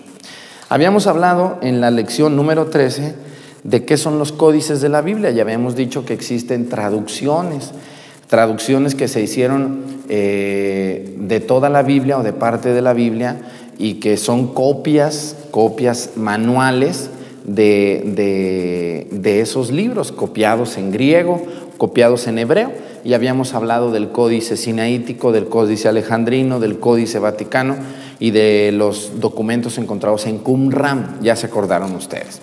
Ahora vamos a hablar de las versiones, así se llaman, versiones de la Biblia. ¿Qué quiere decir esto? ¿Cómo que versiones, Padre? ¿Que la Biblia no es una sola? Claro que sí.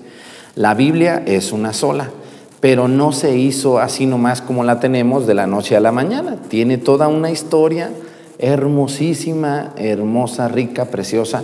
Por eso cuando nos encontramos con un hermano separado que piensa que porque está en la Biblia así o porque no está, y no se pone a analizar la historia de la Biblia, pues podemos caer en que estemos hablando con alguien que crea que sabe mucho y que realmente no sabe nada, pero se enojan.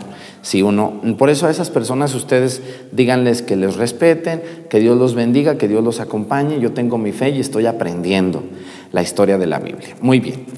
Ah, hubo muchas versiones de la Biblia. ¿Qué, quiere decir cuando nosotros decimos versiones? Bueno, quiere decir que encontramos documentos o, o traducciones de la Biblia a diferentes idiomas, algunas muy autorizadas, unas poco usadas y otras muy usadas.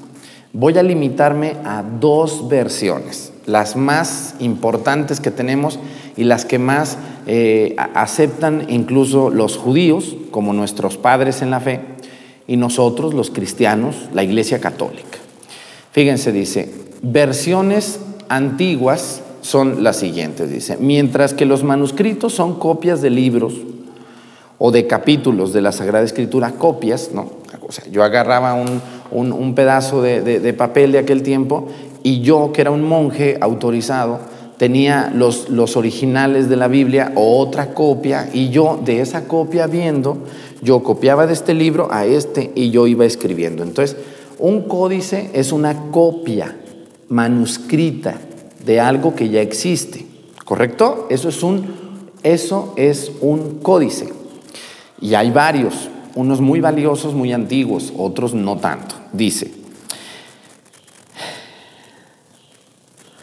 que se encontraron por separado y se guardan como tesoros. Así es, todos estos códices se encontraron por separados, uno en el Sinaí, uno en Alejandría, otro en el Vaticano, otro en, en los, los documentos de Qumran. Dice, todos se encontraron por separado y todos son tesoros, claro, estamos hablando de, de algunos de, de 1800 años o algo así. Por versiones entendemos las más antiguas colecciones de la Biblia entera. Así es, a ver. El único códice que tenemos completo es el del Vaticano, el que está en el Vaticano resguardado, en esa hojita que decíamos de tres columnas. Los demás no son completos, pero cuando nosotros decimos versiones estamos hablando de traducciones de la Biblia completos, que no son tan antiguos, dice. Versiones entendemos las más antiguas colecciones de la Biblia entera, tal como la conocemos hoy, así es, como la tenemos nosotros ordenada. Hoy con sus 73 libros, recuerden que nosotros tenemos la Biblia con 73 libros. Los hermanos separados le quitan 6. No sé por qué, qué autoridad tengan, pero bueno, ellos se los quitan. Dice, con el correr del tiempo se han hecho innumerables versiones de la Biblia. Innumerables versiones. De hecho, la Biblia latinoamericana es una versión. La Biblia de América es otra versión. La Biblia en América es otra versión, muy nuevas, muy nuevas. Estamos hablando de versiones de 50, 30 años, ¿no? Son, son realmente, tienen muchísimo valor por el esfuerzo hecho, pero no, no tienen nada que ver con las versiones que vamos a ver ahorita. Entonces, cuando decimos que son versiones completas de los 73 libros, tanto del Antiguo como del Nuevo Testamento. Con el correr del tiempo, dice, con el correr del tiempo, se han hecho innumerables versiones de la Biblia, innumerables. Entre las más antiguas son las que nos interesan. Vamos a fijarnos en las más antiguas, nosotros no vamos a fijarnos ahorita en las modernas. Esas ya las estudiarán algunos cuando nos juzguen a nosotros, dice. Hay dos muy importantes, la de los 70 y la, de, y la Vulgata. ¿Alguno de ustedes ha oído hablar de estas dos versiones? A lo mejor sí, a lo mejor no, la Vulgata y, la de los 70. Bueno, vamos a leer un poco lo que dice el padre, el padre Agustín sobre la versión de los 70 y luego les hago una explicación. Dice, se llama así porque se realiza, fue realizada por los 70 sabios de Israel. Es la colección de todos los libros del Antiguo Testamento, solo los libros del Antiguo Testamento, dice. Su elaboración fue entre los años 300 y 1000 antes de Cristo. O sea, estuvo destinada a los judíos de la diáspora, es decir, para el culto de las comunidades judías que vivían fuera de su patria. Muy bien. A ver, entonces, ¿qué es esto de la versión de los 70? Hay que entender y tener muy claro que para los judíos, nosotros tenemos aquí nuestra Biblia, eh, vamos a dividir el Antiguo y el Nuevo Testamento, ¿correcto? Miren, según la Biblia, como la tenemos en esta versión de la Biblia latinoamericana, esto grueso que tengo aquí es el Antiguo Testamento y esto más delgadito es el Nuevo Testamento. Para el judío, lo único que está inspirado por Dios es el Antiguo Testamento.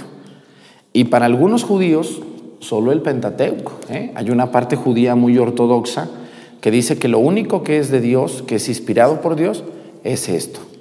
Los primeros cinco libros de la Biblia, que estamos hablando de Génesis, Éxodo, Levítico, Números y Deuteronomios. Otros judíos también aceptan los profetas y otros judíos aceptan los salmos, pero casi ningún judío acepta los libros biográficos, como es el caso de Ruth, de Tobías, de Esther. Y también no aceptan, por ejemplo, el libro del Cantar de los Cantares o el libro de la Sabiduría.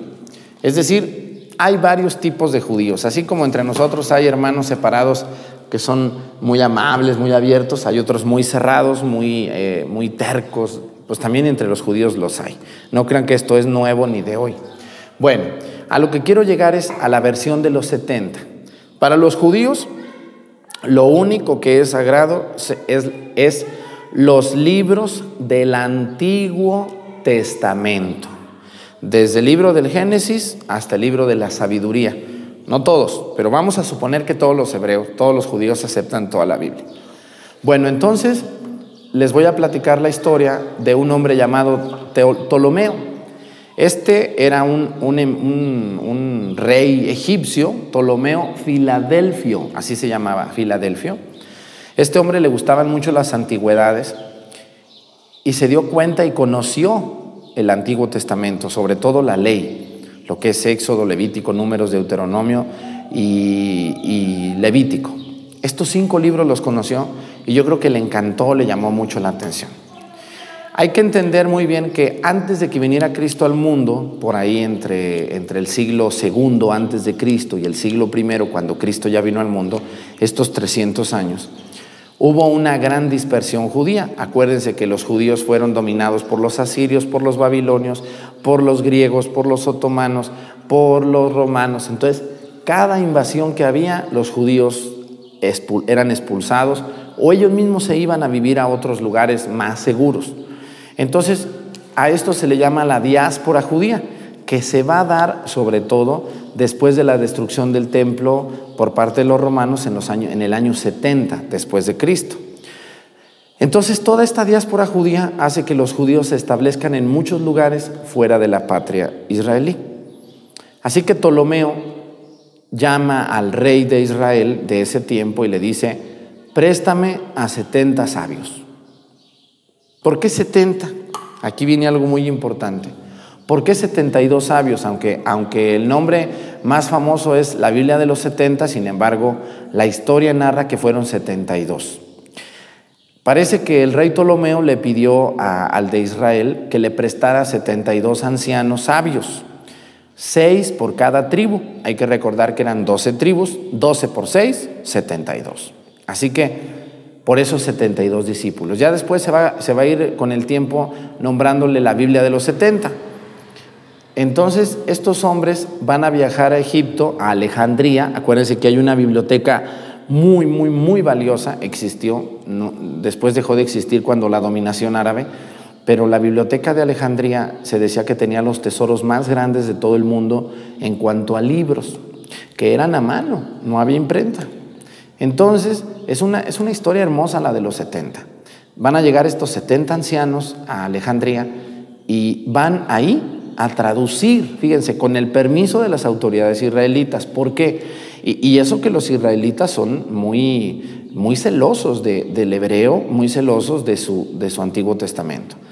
Los mismos autoridades israelitas se dieron cuenta que había muchos israelitas fuera de Israel y que también existían, aparte de muchos israelitas fuera de Israel, muchos gentiles que ya se habían convertido en judíos, es decir, muchos no nacidos judíos, pero convertidos al judaísmo.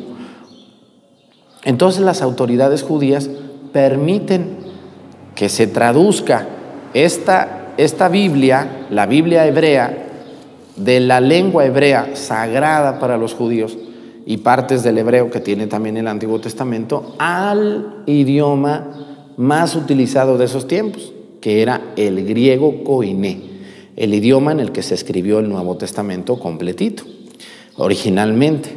Entonces, estos 72 ancianos la van a traducir durante un buen tiempo y van a ser copias suficientes para enviar a muchos lugares del mundo. Recuerden que la dominac- el, el griego dominaba en ese tiempo porque eh, Alejandro Magno había conquistado desde parte del sur de la India hasta todo casi Europa y el norte de África, Ento- y Medio Oriente y Arabia y todo eso. Entonces, cuando hablamos del griego, era el idioma oficial como hoy en día es el inglés, que si tú quieres llegar a todo el mundo, pues tienes que o saber inglés o escribir en inglés. Así que era el idioma más fuerte de ese tiempo. Por eso existe la traducción de los 70. Y cuando nosotros escuchemos eso, cuando ustedes escuchen eso, imagínense el Antiguo Testamento traducido del hebreo y del arameo al griego. Toda una odisea, ¿eh? Todo una, una, algo muy novedoso para esos tiempos y, que sirvió para muchísima gente para que se acercaran al judaísmo. Entonces, los judíos no eran tontos, aunque les costó, porque para el judío el hebreo es un idioma sagrado. Ellos lo hablan, pero es un idioma sagrado en el cual Dios dio su Antiguo Testamento. Esa es la versión de los 70. Muy, y, y por qué nos interesa? A mí, ¿en qué me interesa, Padre? Yo no soy judío, yo no creo en, en esos judíos, yo soy cristiano, yo creo en Cristo, soy católico. Muy bien, ahí les va.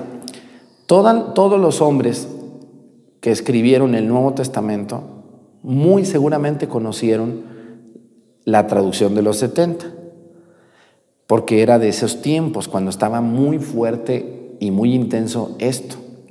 De hecho, San Pablo, acuérdense, cuando llegaba a una población por allá en el Asia Menor, en Grecia, en lo que hoy es Macedonia, siempre llegaba a la sinagoga y en las sinagogas tenían esto, la versión de los 70. Entonces San Pablo seguramente lo tuvo en sus manos y lo conoció y lo comprendió y lo veía de manera tan natural y normal. Así que cuando ustedes y yo vamos a ver los padres de la iglesia, todos los padres de la iglesia, como son San Atanasio, San Hipólito, San Ignacio de Antioquía, todos esos nombres que, que a lo mejor para muchos de ustedes no son comunes, pero son muy importantes porque son los grandes padres de la iglesia que nos trajeron bastantes tradiciones a nuestra iglesia y a nuestra fe, conocieron la versión de los 70 y la citaron muchas veces, muchas veces. Así que es muy importante saber esta historia maravillosa de la versión de los 70, desde Alejandría en África. Gracias a Dios no se perdió cuando se quemó esta biblioteca porque la versión de los 70 fueron traducciones completas de todo el Antiguo Testamento y que se dispersaron por todo el mundo conocido, el mundo helénico de, de Grecia. Muy bien, ahora vamos a la otra versión. La versión que nos interesa tanto es llamada la Vulgata. ¿Han oído ustedes eso de la Vulgata? Vulgata quiere decir vulgar, pero no en el sentido de grosero, sino vulgar en cuanto el, uso de la misma Biblia, ¿no? Para un uso vulgar, para un uso de la mayoría. Por eso la Vulgata es, vamos a ver lo que nos dice el padre Agustín y luego les hago yo una explicación. Dice así. La versión de la Vulgata es una colección de la Biblia entera. El Antiguo Testamento y el Nuevo Testamento y fue hecha en latín por San Jerónimo hacia el año 400 después de Cristo, en Belén. Qué barbaridad, ¿eh? Dice, fue hecha por San Jerónimo, dice, partió de una necesidad durante los primeros siglos que se utilizaba en la iglesia la lengua griega. Pero en el siglo III se impuso el latín en todo el occidente. Por esta razón hacía falta traducir del griego al latín los libros de la Biblia. Y San Jerónimo se encargó de esta tarea. El Papa Damaso se lo va a encargar. ¿eh? De esta traducción se han sacado muchas ediciones hasta nuestros días. El Concilio de Trento, en el año de 1570, la reconoció solemnemente como la versión oficial de la Iglesia. Qué preciosa historia, la Vulgata.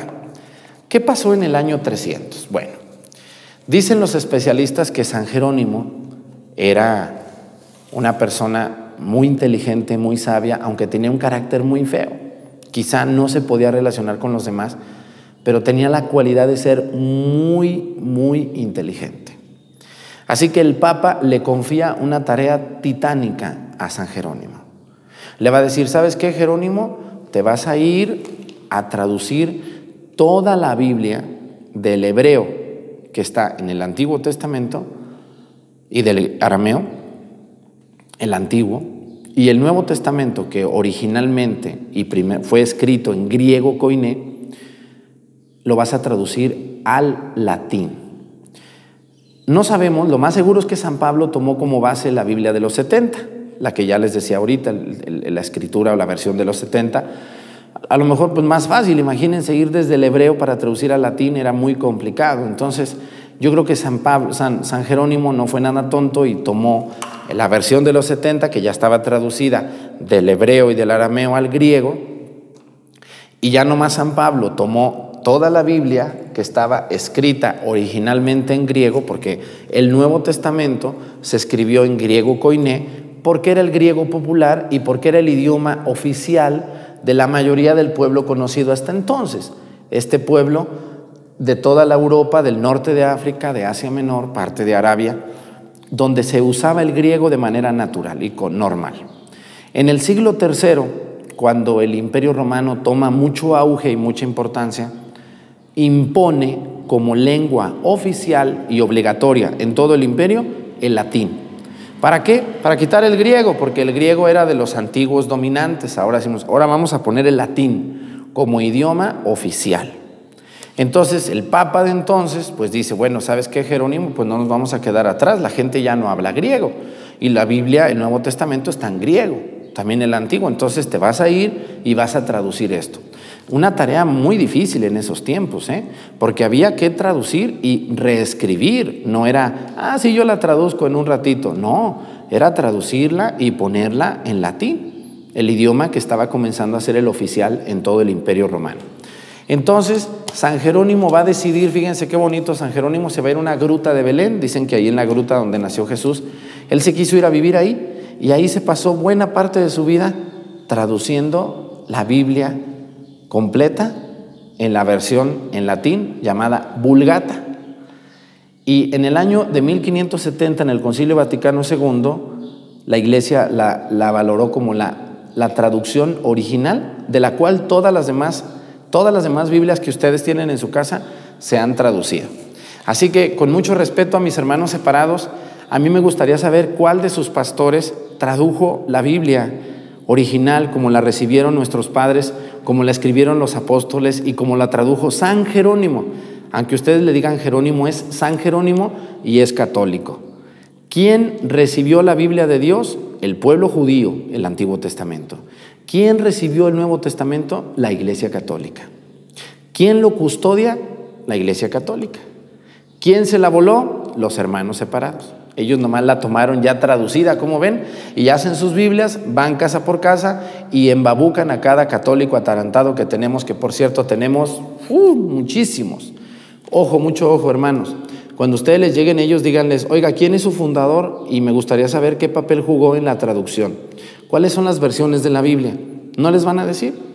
No les van a decir. Ellos les van a hablar de la Reina Valera, que es una, una, una versión muy nueva de lo que fue la Biblia de la Vulgata. Yo les puedo decir la Biblia latinoamericana, la Biblia de Jerusalén, la Biblia... Todas esas son versiones, versiones. Pero la primera traducción que existió fue la traducción que hizo San Jerónimo del Antiguo y del Nuevo Testamento, del hebreo, del arameo, del griego, al latín. Del latín se van a traducir a todos los idiomas hoy en día que existen en el mundo. Fíjense nomás qué interesante historia. Así que que no me vengan con ese cuento de que la Biblia nos dice, Señor, ya se sabe la historia de la Biblia, ya conoce dónde están los orígenes, porque muchas personas dicen, dígame en qué lugar dice que la iglesia es católica y que, señora, Señor, lea, lea la Biblia y estudie su historia hermosa.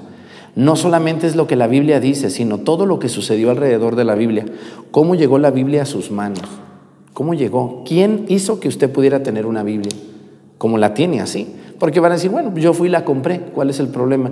No, lea y estudie y tenga certeza e historia de lo que está sucediendo.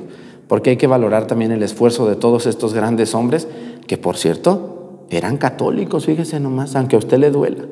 Gracias a la Iglesia Católica, usted, hermano separado, tiene una Biblia. ¿Sabía usted eso?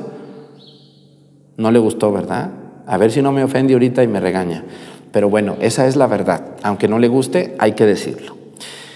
La primer Biblia, fíjense, sacada de una imprenta fue la del católico Juan de, Juan de Gutenberg. Juan de Gutenberg, Gutenberg creó la imprenta en el año de 1440.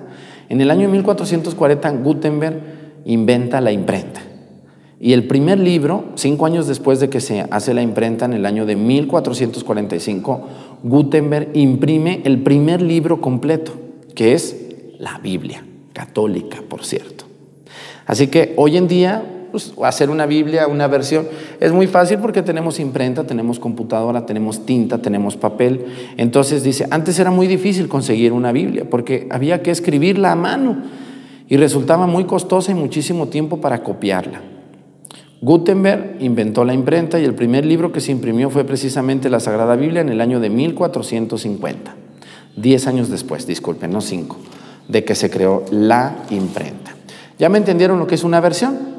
Son versiones, son traducciones que existen muy parecidas una de otra, pero algunos hermanos separados, como falta de respeto a la Sagrada Escritura, le han quitado o le han agregado ciertas cosas para acomodarlas de acuerdo a su manera de, de, traducir o a su manera de predicar, pues para que nosotros no les podamos decir nada.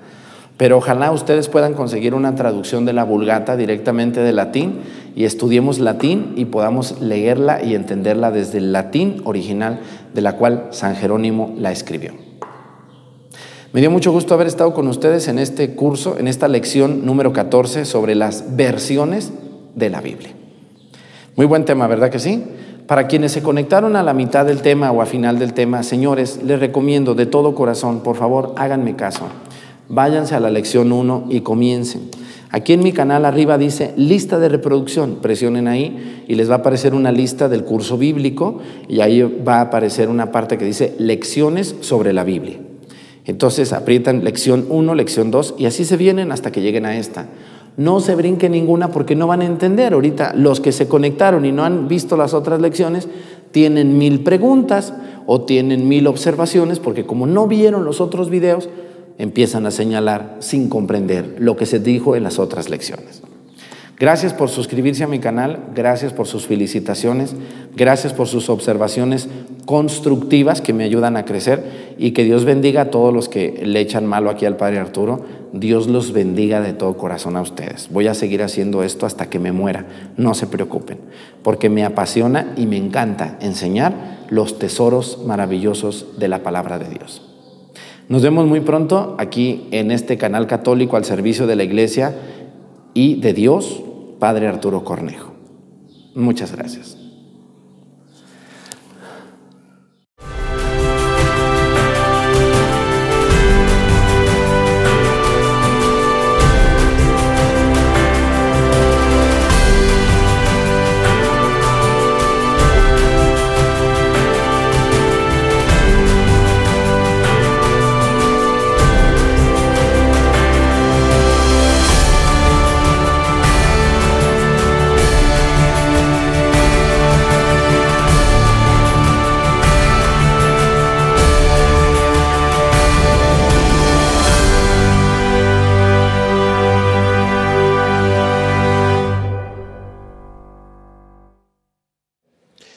Bienvenidos todos ustedes, queridos hermanos, a esta transmisión de nuestra lección número 15 sobre todo lo que acontece alrededor en la Biblia. Es muy importante saber que todos los que por primera vez ven esta lección se deben de dar cuenta que eh, deben de empezar por la lección 1. Nosotros tenemos la lección desde la 1 hasta hoy en día la 15, que es esta. Si ustedes no empiezan por la lección 1, pues no van a entender bien o van a entender la mitad o van a tener muchas preguntas. Ya ven que hay gente que pregunta antes de, de, ver lo que está tratando. Entonces, para que ustedes tengan menos preguntas, les invito de todo corazón, vayan y empiecen por orden. Vean la lección 1, luego se vienen a la 2 y luego a la 3 y así vamos a ir comprendiendo de mejor manera las lecciones. Así que todos los que están llevando su orden, eh, les doy la bienvenida. Les recuerdo que lo único que necesitamos para las lecciones es la Biblia, la Sagrada Biblia, que debemos de tener. Yo creo que todos ustedes tienen en su casa, no creo que no la tengan, entonces les agradezco muchísimo el favor de su atención a todos los que puntualmente están esperando estas lecciones. Miren, mm, estas lecciones es un estudio de todo lo que sucede alrededor de la Biblia, quién la, quién la hizo, quién la redactó, cuándo, en qué idioma, por qué, cómo se divide, eh, por qué se le llama así, cómo se maneja, cómo se abre, o sea, todo lo que es alrededor de la Biblia para que luego entren de lleno al curso bíblico y ustedes y yo podamos vivir y aprender lo maravilloso que es la palabra de Dios. Sean ustedes bienvenidos, soy el señor cura José Arturo López Cornejo, les agradezco el favor de su atención y vamos a comenzar. Antes que nada, le agradecemos al padre Agustín Petrocelli. Estoy llevando este libro como básico.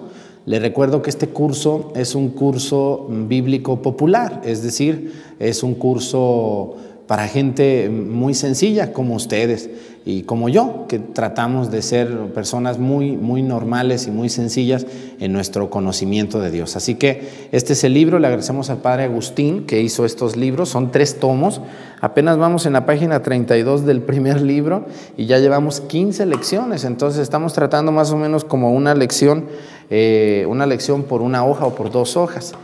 Hoy vamos a hablar del canon, ese es el título, el canon en la Biblia. Vamos a ver lo que nos dice, eh, la palabra canon quiere decir regla o vara para medir. Y dices, la palabra canon viene de la lengua griega y corresponde a la expresión una caña recta, que sirve para sostener derecha alguna cosa, así es. Es pues como una regla de fe para determinar una cosa verdadera o falsa. Y eso está en la Biblia, fíjense, vamos a ir al libro del Apocalipsis, si ustedes tienen su Biblia por ahí. Es el último libro de la Biblia, no creo que vayan a batallar mucho. Y vamos a ir al capítulo número 11 del libro del Apocalipsis. Les recuerdo a ustedes que ya tienen varias lecciones vistas. Eh, es muy fácil manejar la Biblia. Estamos en el capítulo 11 de la Biblia. Aquí tenemos el número 11. Vamos a ir al capítulo 11, versículo 1. Luego, luego, dice así, fíjense, dice. Después me entregaron una vara de medir diciéndome, vete, mide el templo de Dios y el altar y haz el censo de los que vienen a adorar. A ver, le entregaron una vara. Ahí está la palabra canon, canon en griego es vara, vara para medir, vara para medir algo. Entonces, cuando nosotros escuchamos esta palabra en esta lección sobre el canon en, la Biblia, vamos a entender que es una vara para medir algo, que esté bien, o descubrir una cosa verdadera de una cosa falsa. Muy bien. Dice, el canon en la Biblia es el catálogo de libros inspirados por Dios que se llaman libros canónicos. Aquí vamos a hacer una distinción, el, próximo tema también, ya pronto van a aparecer los libros apócrifos. Entonces, el canon es, así lo dice, es el catálogo de libros inspirados por Dios que se llaman libros canónicos. Es decir, esos libros ya fueron medidos por esa vara para poder decir, este libro es, está inspirado por Dios y este libro no aunque hable de Dios, aunque digan que lo escribió alguien con una buena intención, pero no está inspirado. Ahorita vamos a llegar a ese tema que es muy interesante, muy profundo y muy delicado de tratar. Dice, el canon garantiza que estos libros son verdaderamente inspirados por Dios. Define los límites entre lo que es revelado y lo que no lo es entre lo que es divino y lo que es humano. Aquí viene una distinción. Cuando la iglesia, porque la iglesia católica fue la que hizo el canon del Nuevo Testamento, definió qué libro era inspirado por Dios y qué libro no estaba inspirado, aunque hablara de Dios. Ahorita vamos a ver qué medidas tomó la iglesia para poder decir que este libro estaba inspirado o no estaba inspirado. Pero sí es muy importante comentar este detallazo. ¿Quién decide y quién define que la Biblia está inspirada o no? El Espíritu Santo, a través de la Iglesia Católica. Así que todos nuestros hermanos separados que tienen sus Biblias, con los libros que la Iglesia Católica, por la ayuda del Espíritu Santo, definió como inspirados, pues muchas gracias por darnos el honor de reconocer que la única iglesia que en ese tiempo, cuando se definió el canon, existía era la Iglesia Católica. Aunque no les gusta, pero así fue. Hoy vamos a ver tiempos, años, nombres, todo. ¿eh? muy interesante este tema, dice. Los libros que actualmente forman parte de la Biblia no son los únicos que hablan de Dios, así es, de Cristo, de la sabiduría. No, claro, hay muchos libros que hablan de Cristo y que, y que en esos tiempos hablaban de Cristo, de Dios, de la sabiduría, de las cosas divinas. Dice, no son los únicos que hablan de Dios. ¿no? O sea, cuando la iglesia tuvo en sus manos, hagan de cuenta, miren, para que ustedes me entiendan. Eh, nosotros tenemos una Biblia así como esta muy ordenadita, ¿no? Ya tenemos eh, el libro fulano, el libro mangano, capítulo, versículo, página, índice, nombre, abreviatura, ¿sabes? Pero cuando la Iglesia Católica en los primeros siglos de nuestra era quiso poner orden en los libros sagrados o los libros inspirados y los no inspirados, hagan de cuenta que tenía por aquí un libro, ¿no? Por aquí otro libro. Y luego le llegó otro. Y luego le llegó otro librito. Y luego le llegó otro librote. Y luego le dieron otro. Y le dieron otro. Entonces, la iglesia tenía enfrente de ella muchos libros, más de 100 libros. Entonces la iglesia decía, bueno, pues ¿cuál estará inspirado y cuál no? ¿Cuál podemos decir que es un libro inspirado por Dios y cuál libro no está inspirado por Dios? ¿Cuál libro es algo, es algo que se escribió muy bonito pero que no está inspirado por Dios? Y ahí viene el gran problema. Porque nosotros vemos un libro y, ah, pues qué facilito un libro, qué bonito. Lo compro empastado, ordenado, encuadernado, con índice, muy fácil, lo manejo. En aquellos tiempos los libros no eran así, eran papeles perdidos, uno pegado con otro ahí, papelitos hechos a mano, muy rudimentarios. Entonces la iglesia tenía un problemón enfrente. Pero vamos a ver cómo los papas de entonces van a animarse a ordenar esto y lo van a hacer de una manera estupenda. Claro, inspirados por el Espíritu Santo. ¿eh? Esto es muy importante. Dice, la iglesia, este el número dice, la iglesia es depositaria por el poder de Jesús, la iglesia depositaría, perdón, el poder de Jesús a través de los concilios ecuménicos que nos han dicho cuáles son los libros canónicos y cuáles los apócrifos, es decir, que no son inspirados. Esto es muy importante. La diferencia entre un libro canónico y un libro apócrifo es que el libro canónico está inspirado por Dios totalmente en su contenido y que todo lo que dice es verdad y habla directamente Dios. Y un libro apócrifo es aquel libro que no siempre dice la verdad, que no siempre eh, tiene la intención real, aunque habla de Dios y pudiera parecer un evangelio real o pudiera ser el autor un apóstol, sin embargo, se da cuenta la iglesia que ese libro es apócrifo porque no está inspirado por Dios. Por ejemplo, hubo otros libros como la Didaje, muy cercana al tiempo que se escribieron los evangelios, que es un libro que habla de Dios, muchas cosas impresionantes y de las costumbres de los primeros pueblos cristianos, pero no está inspirado. La iglesia lo descartó como parte del canon. Canon le vamos a llamar a los libros que forman la Biblia. Todos los libros de la Biblia, Antiguo y Nuevo Testamento, se les dice canon, canónicos. ¿Correcto? Ya me entendieron. Y apócrifos son todos aquellos libros de ese tiempo que hablan de Dios, que hablan de Cristo, que hablan de religión, que hablan de sabiduría, pero no están inspirados. Muy bien, comprendido, vamos bien. Ándeles pues. Entonces, esa es la diferencia entre un apócrifo y un canónico, es la no inspiración de los apócrifos y la sí inspiración de los canónicos. Muy bien. La iglesia y el canon. Ahí les va, dice.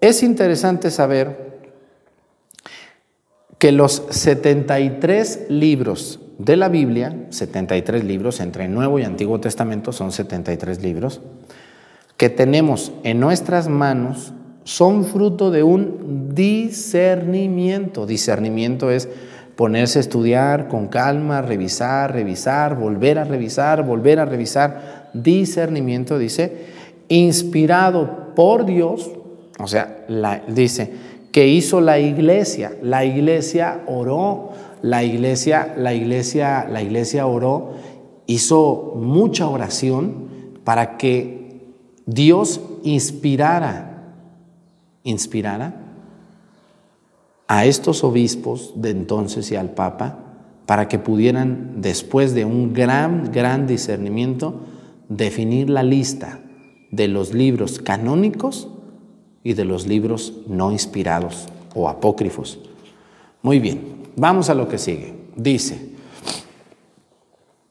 es interesante saber que los 73 libros de la Biblia que tenemos entre nuestras manos son fruto de un discernimiento inspirado por Dios que hizo la iglesia y ella misma los ha introducido en el canon apartando los otros. O sea, la iglesia, hagan de cuenta que en aquellos tiempos eh, no tenían la Biblia como nosotros la tenemos. Mm, hagan de cuenta que esta era la carta a los Corintios y esta era la carta a los Colosenses. Entonces, en un pueblo tenían este, la carta a los Colosenses, nomás tenían eso. Ahí, en esa capillita, en esa iglesita, en esa, en esa iglesia, tenían, o en esa catedral incluso, nomás tenían la carta a los Corintios. Y en otra nomás tenían el Evangelio de San Mateo.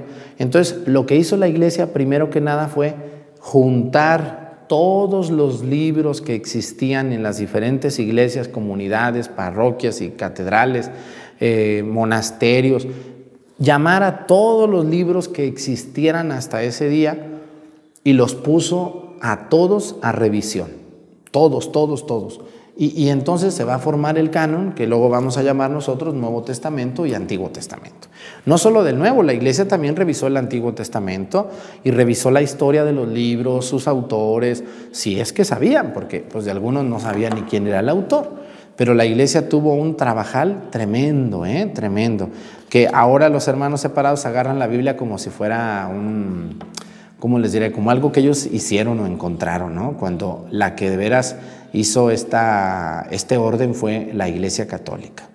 Bueno, dice, cuando en la primera lección hemos dado una definición de Biblia, decíamos que es una colección de libros inspirados por el Espíritu Santo y entregados a la Iglesia.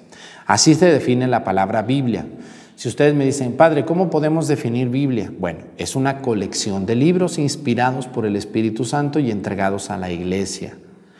Dice, en esta última parte de la definición que estamos explicando es en efecto la iglesia y solo ella, solo ella que tiene la facultad entregada por Cristo a Pedro de juzgar si un libro es inspirado o no lo es. Así es. A ver, aquí nos vamos a detener en el capítulo 16 de San Mateo. No lo voy a buscar porque me lo sé de memoria ese capítulo, ese, ese versículo, ese capítulo. Todos ustedes se han de acordar que en el capítulo 16 Pedro recibe de Cristo las llaves. Le dice, bueno, vamos a suponer que estás, Pedro le dice, Pedro a ti te entrego las llaves y a ti y solo a ti.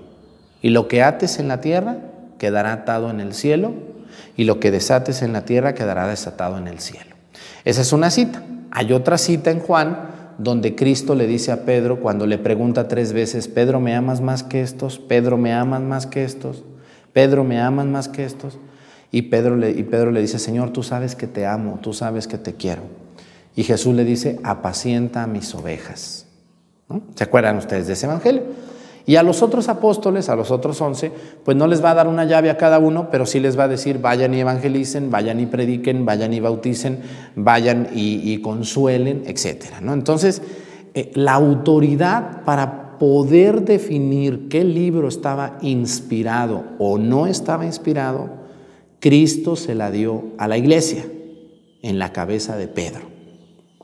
Los papas de la Iglesia Católica, que es la única que tiene sucesores directos de los, de los apóstoles, y sobre todo el Papa, que es el sucesor de Pedro, que es la cabeza que Cristo deja en este mundo, con esa autoridad que él recibe, hace esto, el discernimiento, el entender cuáles son los libros que Dios nos inspiró para nuestra salvación. A eso se le llama la canonicidad que la iglesia le dio a los libros con la vara llamada canon. Muy bien, comprendido. Entonces dice, eh, eso dice, fue la capacidad que tuvo la iglesia de juzgar si un libro estaba inspirado o no. Esto se llevó siglos, criaturas, siglos. No, no crean que dijeron, vamos a reunirnos, a ver, tráiganse todo. Este no, pues este me cae bien, este no me cae bien, quítenlo, este bórrenlo, este no está bien, este no nos conviene. No, no, no, no, no, no. Todos los libros se leyeron, se releyeron, se mandaron preguntar al pueblo de Dios, se volvió a preguntar, se volvió a definir y otra vez y otra vez, hasta que después de años y años y años de estudio, se logró definir con claridad cuáles eran los libros inspirados y cuáles no estaban inspirados. ¿Comprendido? Muy bien. Dice, ¿por qué solo la iglesia Ahí está. ¿El sumo pontífice y los obispos tienen esta facultad? Es una pregunta. ¿Pero por qué no más ellos, padre? Bueno, dice, es una pregunta que es muy importante aclarar frente a la fuerte propaganda protestante que toma la Biblia como bandera de proselitismo. Así es, los hermanos separados agarran la Biblia como su bandera de proselitismo cuando ellos ni saben la historia de la Biblia con mucho respeto. Y ojalá si me está oyendo uno, hermano, te invito a que te acerques, a que tengamos humildad y estudiemos juntos la historia maravillosa de la Sagrada Biblia, porque eso es lo que estamos haciendo en estas lecciones. Dice, toman la bandera como proselitismo y dicen que cada cual tiene el Espíritu Santo. Ellos dicen, no, dice, pues todos tenemos al Espíritu Santo para interpretar la palabra de Dios. No es verdad, no, no, no tenemos al Espíritu Santo. No, no, lo podemos manejar al Espíritu Santo como si fuera lo que Dios me inspira, lo que Dios me dice en este momento. No. Para interpretar la palabra de Dios dice, podemos decir que solo la iglesia tiene ese poder de decir la verdad sobre la Biblia por dos motivos. Aquí está. Esto es muy interesante. Hay dos motivos por los que vamos a decir que la única que tiene la inspiración del Espíritu Santo, en el caso concreto, para definir definir el canon de la Biblia es la Iglesia Católica por las siguientes razones. Número uno, inciso A, porque la Biblia, palabra de Dios escrita, es fruto de la predicación de la Iglesia misma.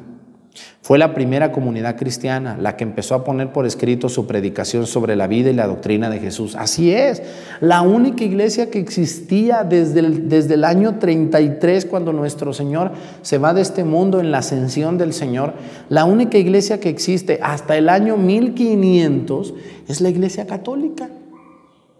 No hay otra, no hay otra. Estos hermanos separados, con mucho respeto para ellos, nacieron con Lutero y con Calvino y ahora todo tenemos una, una, una, una, creciente, no quiero decir malas palabras, pero eh, una parvada de gente que todo el mundo cree que pueden fundar su iglesia y la fundan y hacen lo que quieren y utilizan la Biblia como si fuera un libro que cualquier persona de cualquier tipo puede manejar y manipular. Eso no quiere decir que tú no la puedas leer, claro, la pueden leer y la pueden comprender, pero la interpretación de la Biblia y el origen de la Biblia se lo debemos a la Iglesia Católica, ¿eh? con mucho respeto para ustedes. Entonces, la Biblia es la misma, la misma vivencia de la primera comunidad católica, es la, es la primera iglesia, todo lo que leemos en el Nuevo Testamento, todo lo que leemos en el Nuevo Testamento después de los Evangelios, y junto con los evangelios son la, primera comunidad católica que existe. Entonces ellos están leyendo la historia de la Iglesia Católica. Eso es la Biblia, la primera comunidad que existe. Así dice. Bueno, dice que empezó a poner por escrito su predicación sobre su vida y sobre la doctrina de Jesús. Entonces dice, a ella solo pertenece la justa interpretación de lo que se escribió, como pertenece solo el autor de un libro interpretar rectamente lo que escribió de un libro. Claro, Claro, pues el Nuevo Testamento, ¿quién lo escribió? Yo siempre me he preguntado, ¿quién escribió el Nuevo Testamento? Les pregunto yo a los hermanos separados, ¿quién lo escribió? Los apóstoles. ¿Quiénes eran los apóstoles? Fueron los primeros obispos de nuestra Iglesia Católica, los que fundaron la Iglesia Católica cuando Cristo se fue. Entonces, ¿por qué andan agrediendo? ¿Por qué andan diciendo tantas mentiras a tanto católico incauto, por no decir otra palabra aquí, atarantado, que se encuentran por la calle, como tenemos tantos? Inciso B, la otra razón. Entonces, la primera razón por la que podemos decir que la iglesia es la única que puede interpretar con la ayuda del Espíritu Santo, que es el Papa, los obispos, ¿eh? es por esa razón. La segunda razón es, dice, porque Jesús le entregó, lo que ya les decía, a Pedro las llaves de su reino. Así es o no es verdad. A ver, hermanos separados, díganme. Porque ellos dicen que no, que no. ¿A quién le entregó las llaves de su reino Cristo? A Pedro. El Papa Francisco actualmente es el sucesor de Pedro. O no me vayan a decir que el pastor de su iglesia es el sucesor de Pedro, porque entonces sí me, suicido aquí casi del susto de que ustedes me digan eso, porque pues yo no veo el nombre de su pastor ahí en la Biblia. Yo no veo que le haya dejado una llavecita también guardada a ustedes. ¿Verdad que no? ¿O sí? Dice, eso es la iglesia. Y solo Él, unido a los apóstoles, por mandato de Jesús, tiene el poder del Espíritu Santo para discernir la verdad. Así es. ¿Quién declara un santo? El Papa. ¿Quién declara un beato? El Papa. ¿Quién declara un milagro como válido en el mundo entero? El Papa. ¿Quién nombra un obispo nuevo? El Papa. ¿Quién define una verdad estudiada, propiciada? El Papa. ¿Quién declara una aparición de la Virgen María como válida o inválida? El Papa. Porque Él tiene las llaves, nadie más las tiene.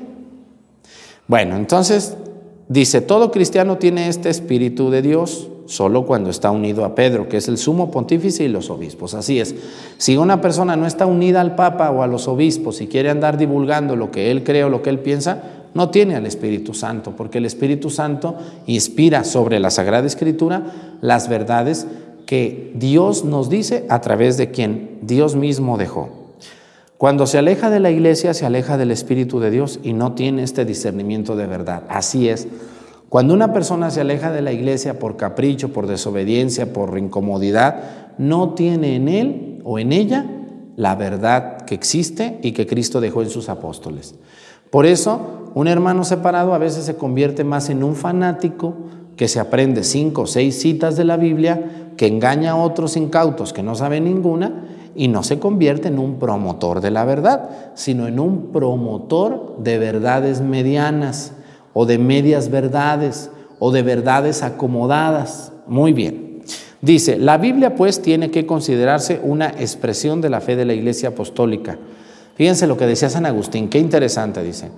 No creería en el Evangelio si no fuera por la autoridad de la Iglesia Católica que me lo ordena.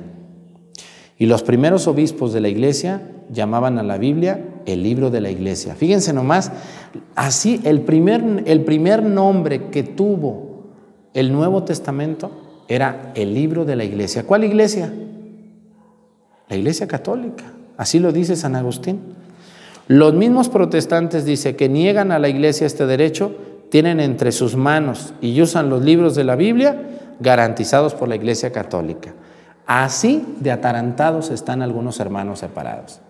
Ellos predican con el libro que la iglesia definió como inspirado por Dios. O sea, lo que no has de ver, en tu casa lo has de tener. Ellos van casa por casa con la Biblia es enseñando lo que ellos creen, pero utilizando el libro que la Iglesia Católica definió como inspirado, o el libro de la Iglesia. ¿Es un don de Dios la Biblia? Claro, Dios fue el que lo inspiró, pero el que definió quién es, cuáles libros están inspirados por Dios o no, fue la Iglesia a través del poder que Cristo le dejó a Pedro por las llaves. Espero que les haya gustado esta lección, a mí me encantó y es la base de todo lo que creemos, hermanos católicos, no dejen que les vean la cara. Vamos a la historia, vamos a los primeros siglos de la iglesia. Los hermanos separados tienen no más de 500 años entre nosotros, algunos no tienen ni 100 años. Mucho cuidado, hermanos, cuiden su fe, es un tesoro maravilloso en ustedes.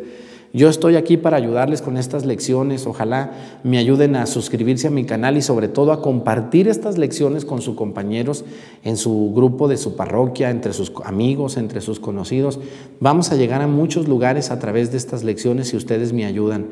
Yo pongo mi esfuerzo, ustedes ayúdenme a ser heraldos e instrumentos de esto entre muchos otros fieles que lo necesitan.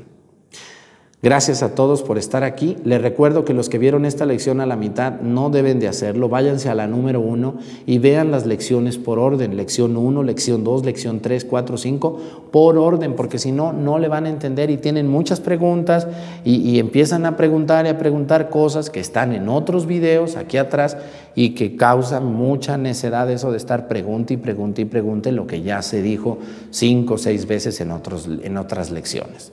Nos vemos muy pronto. Esta fue la lección número 15. Número 15. Nos vemos pronto en la lección 16. Muchísimas gracias.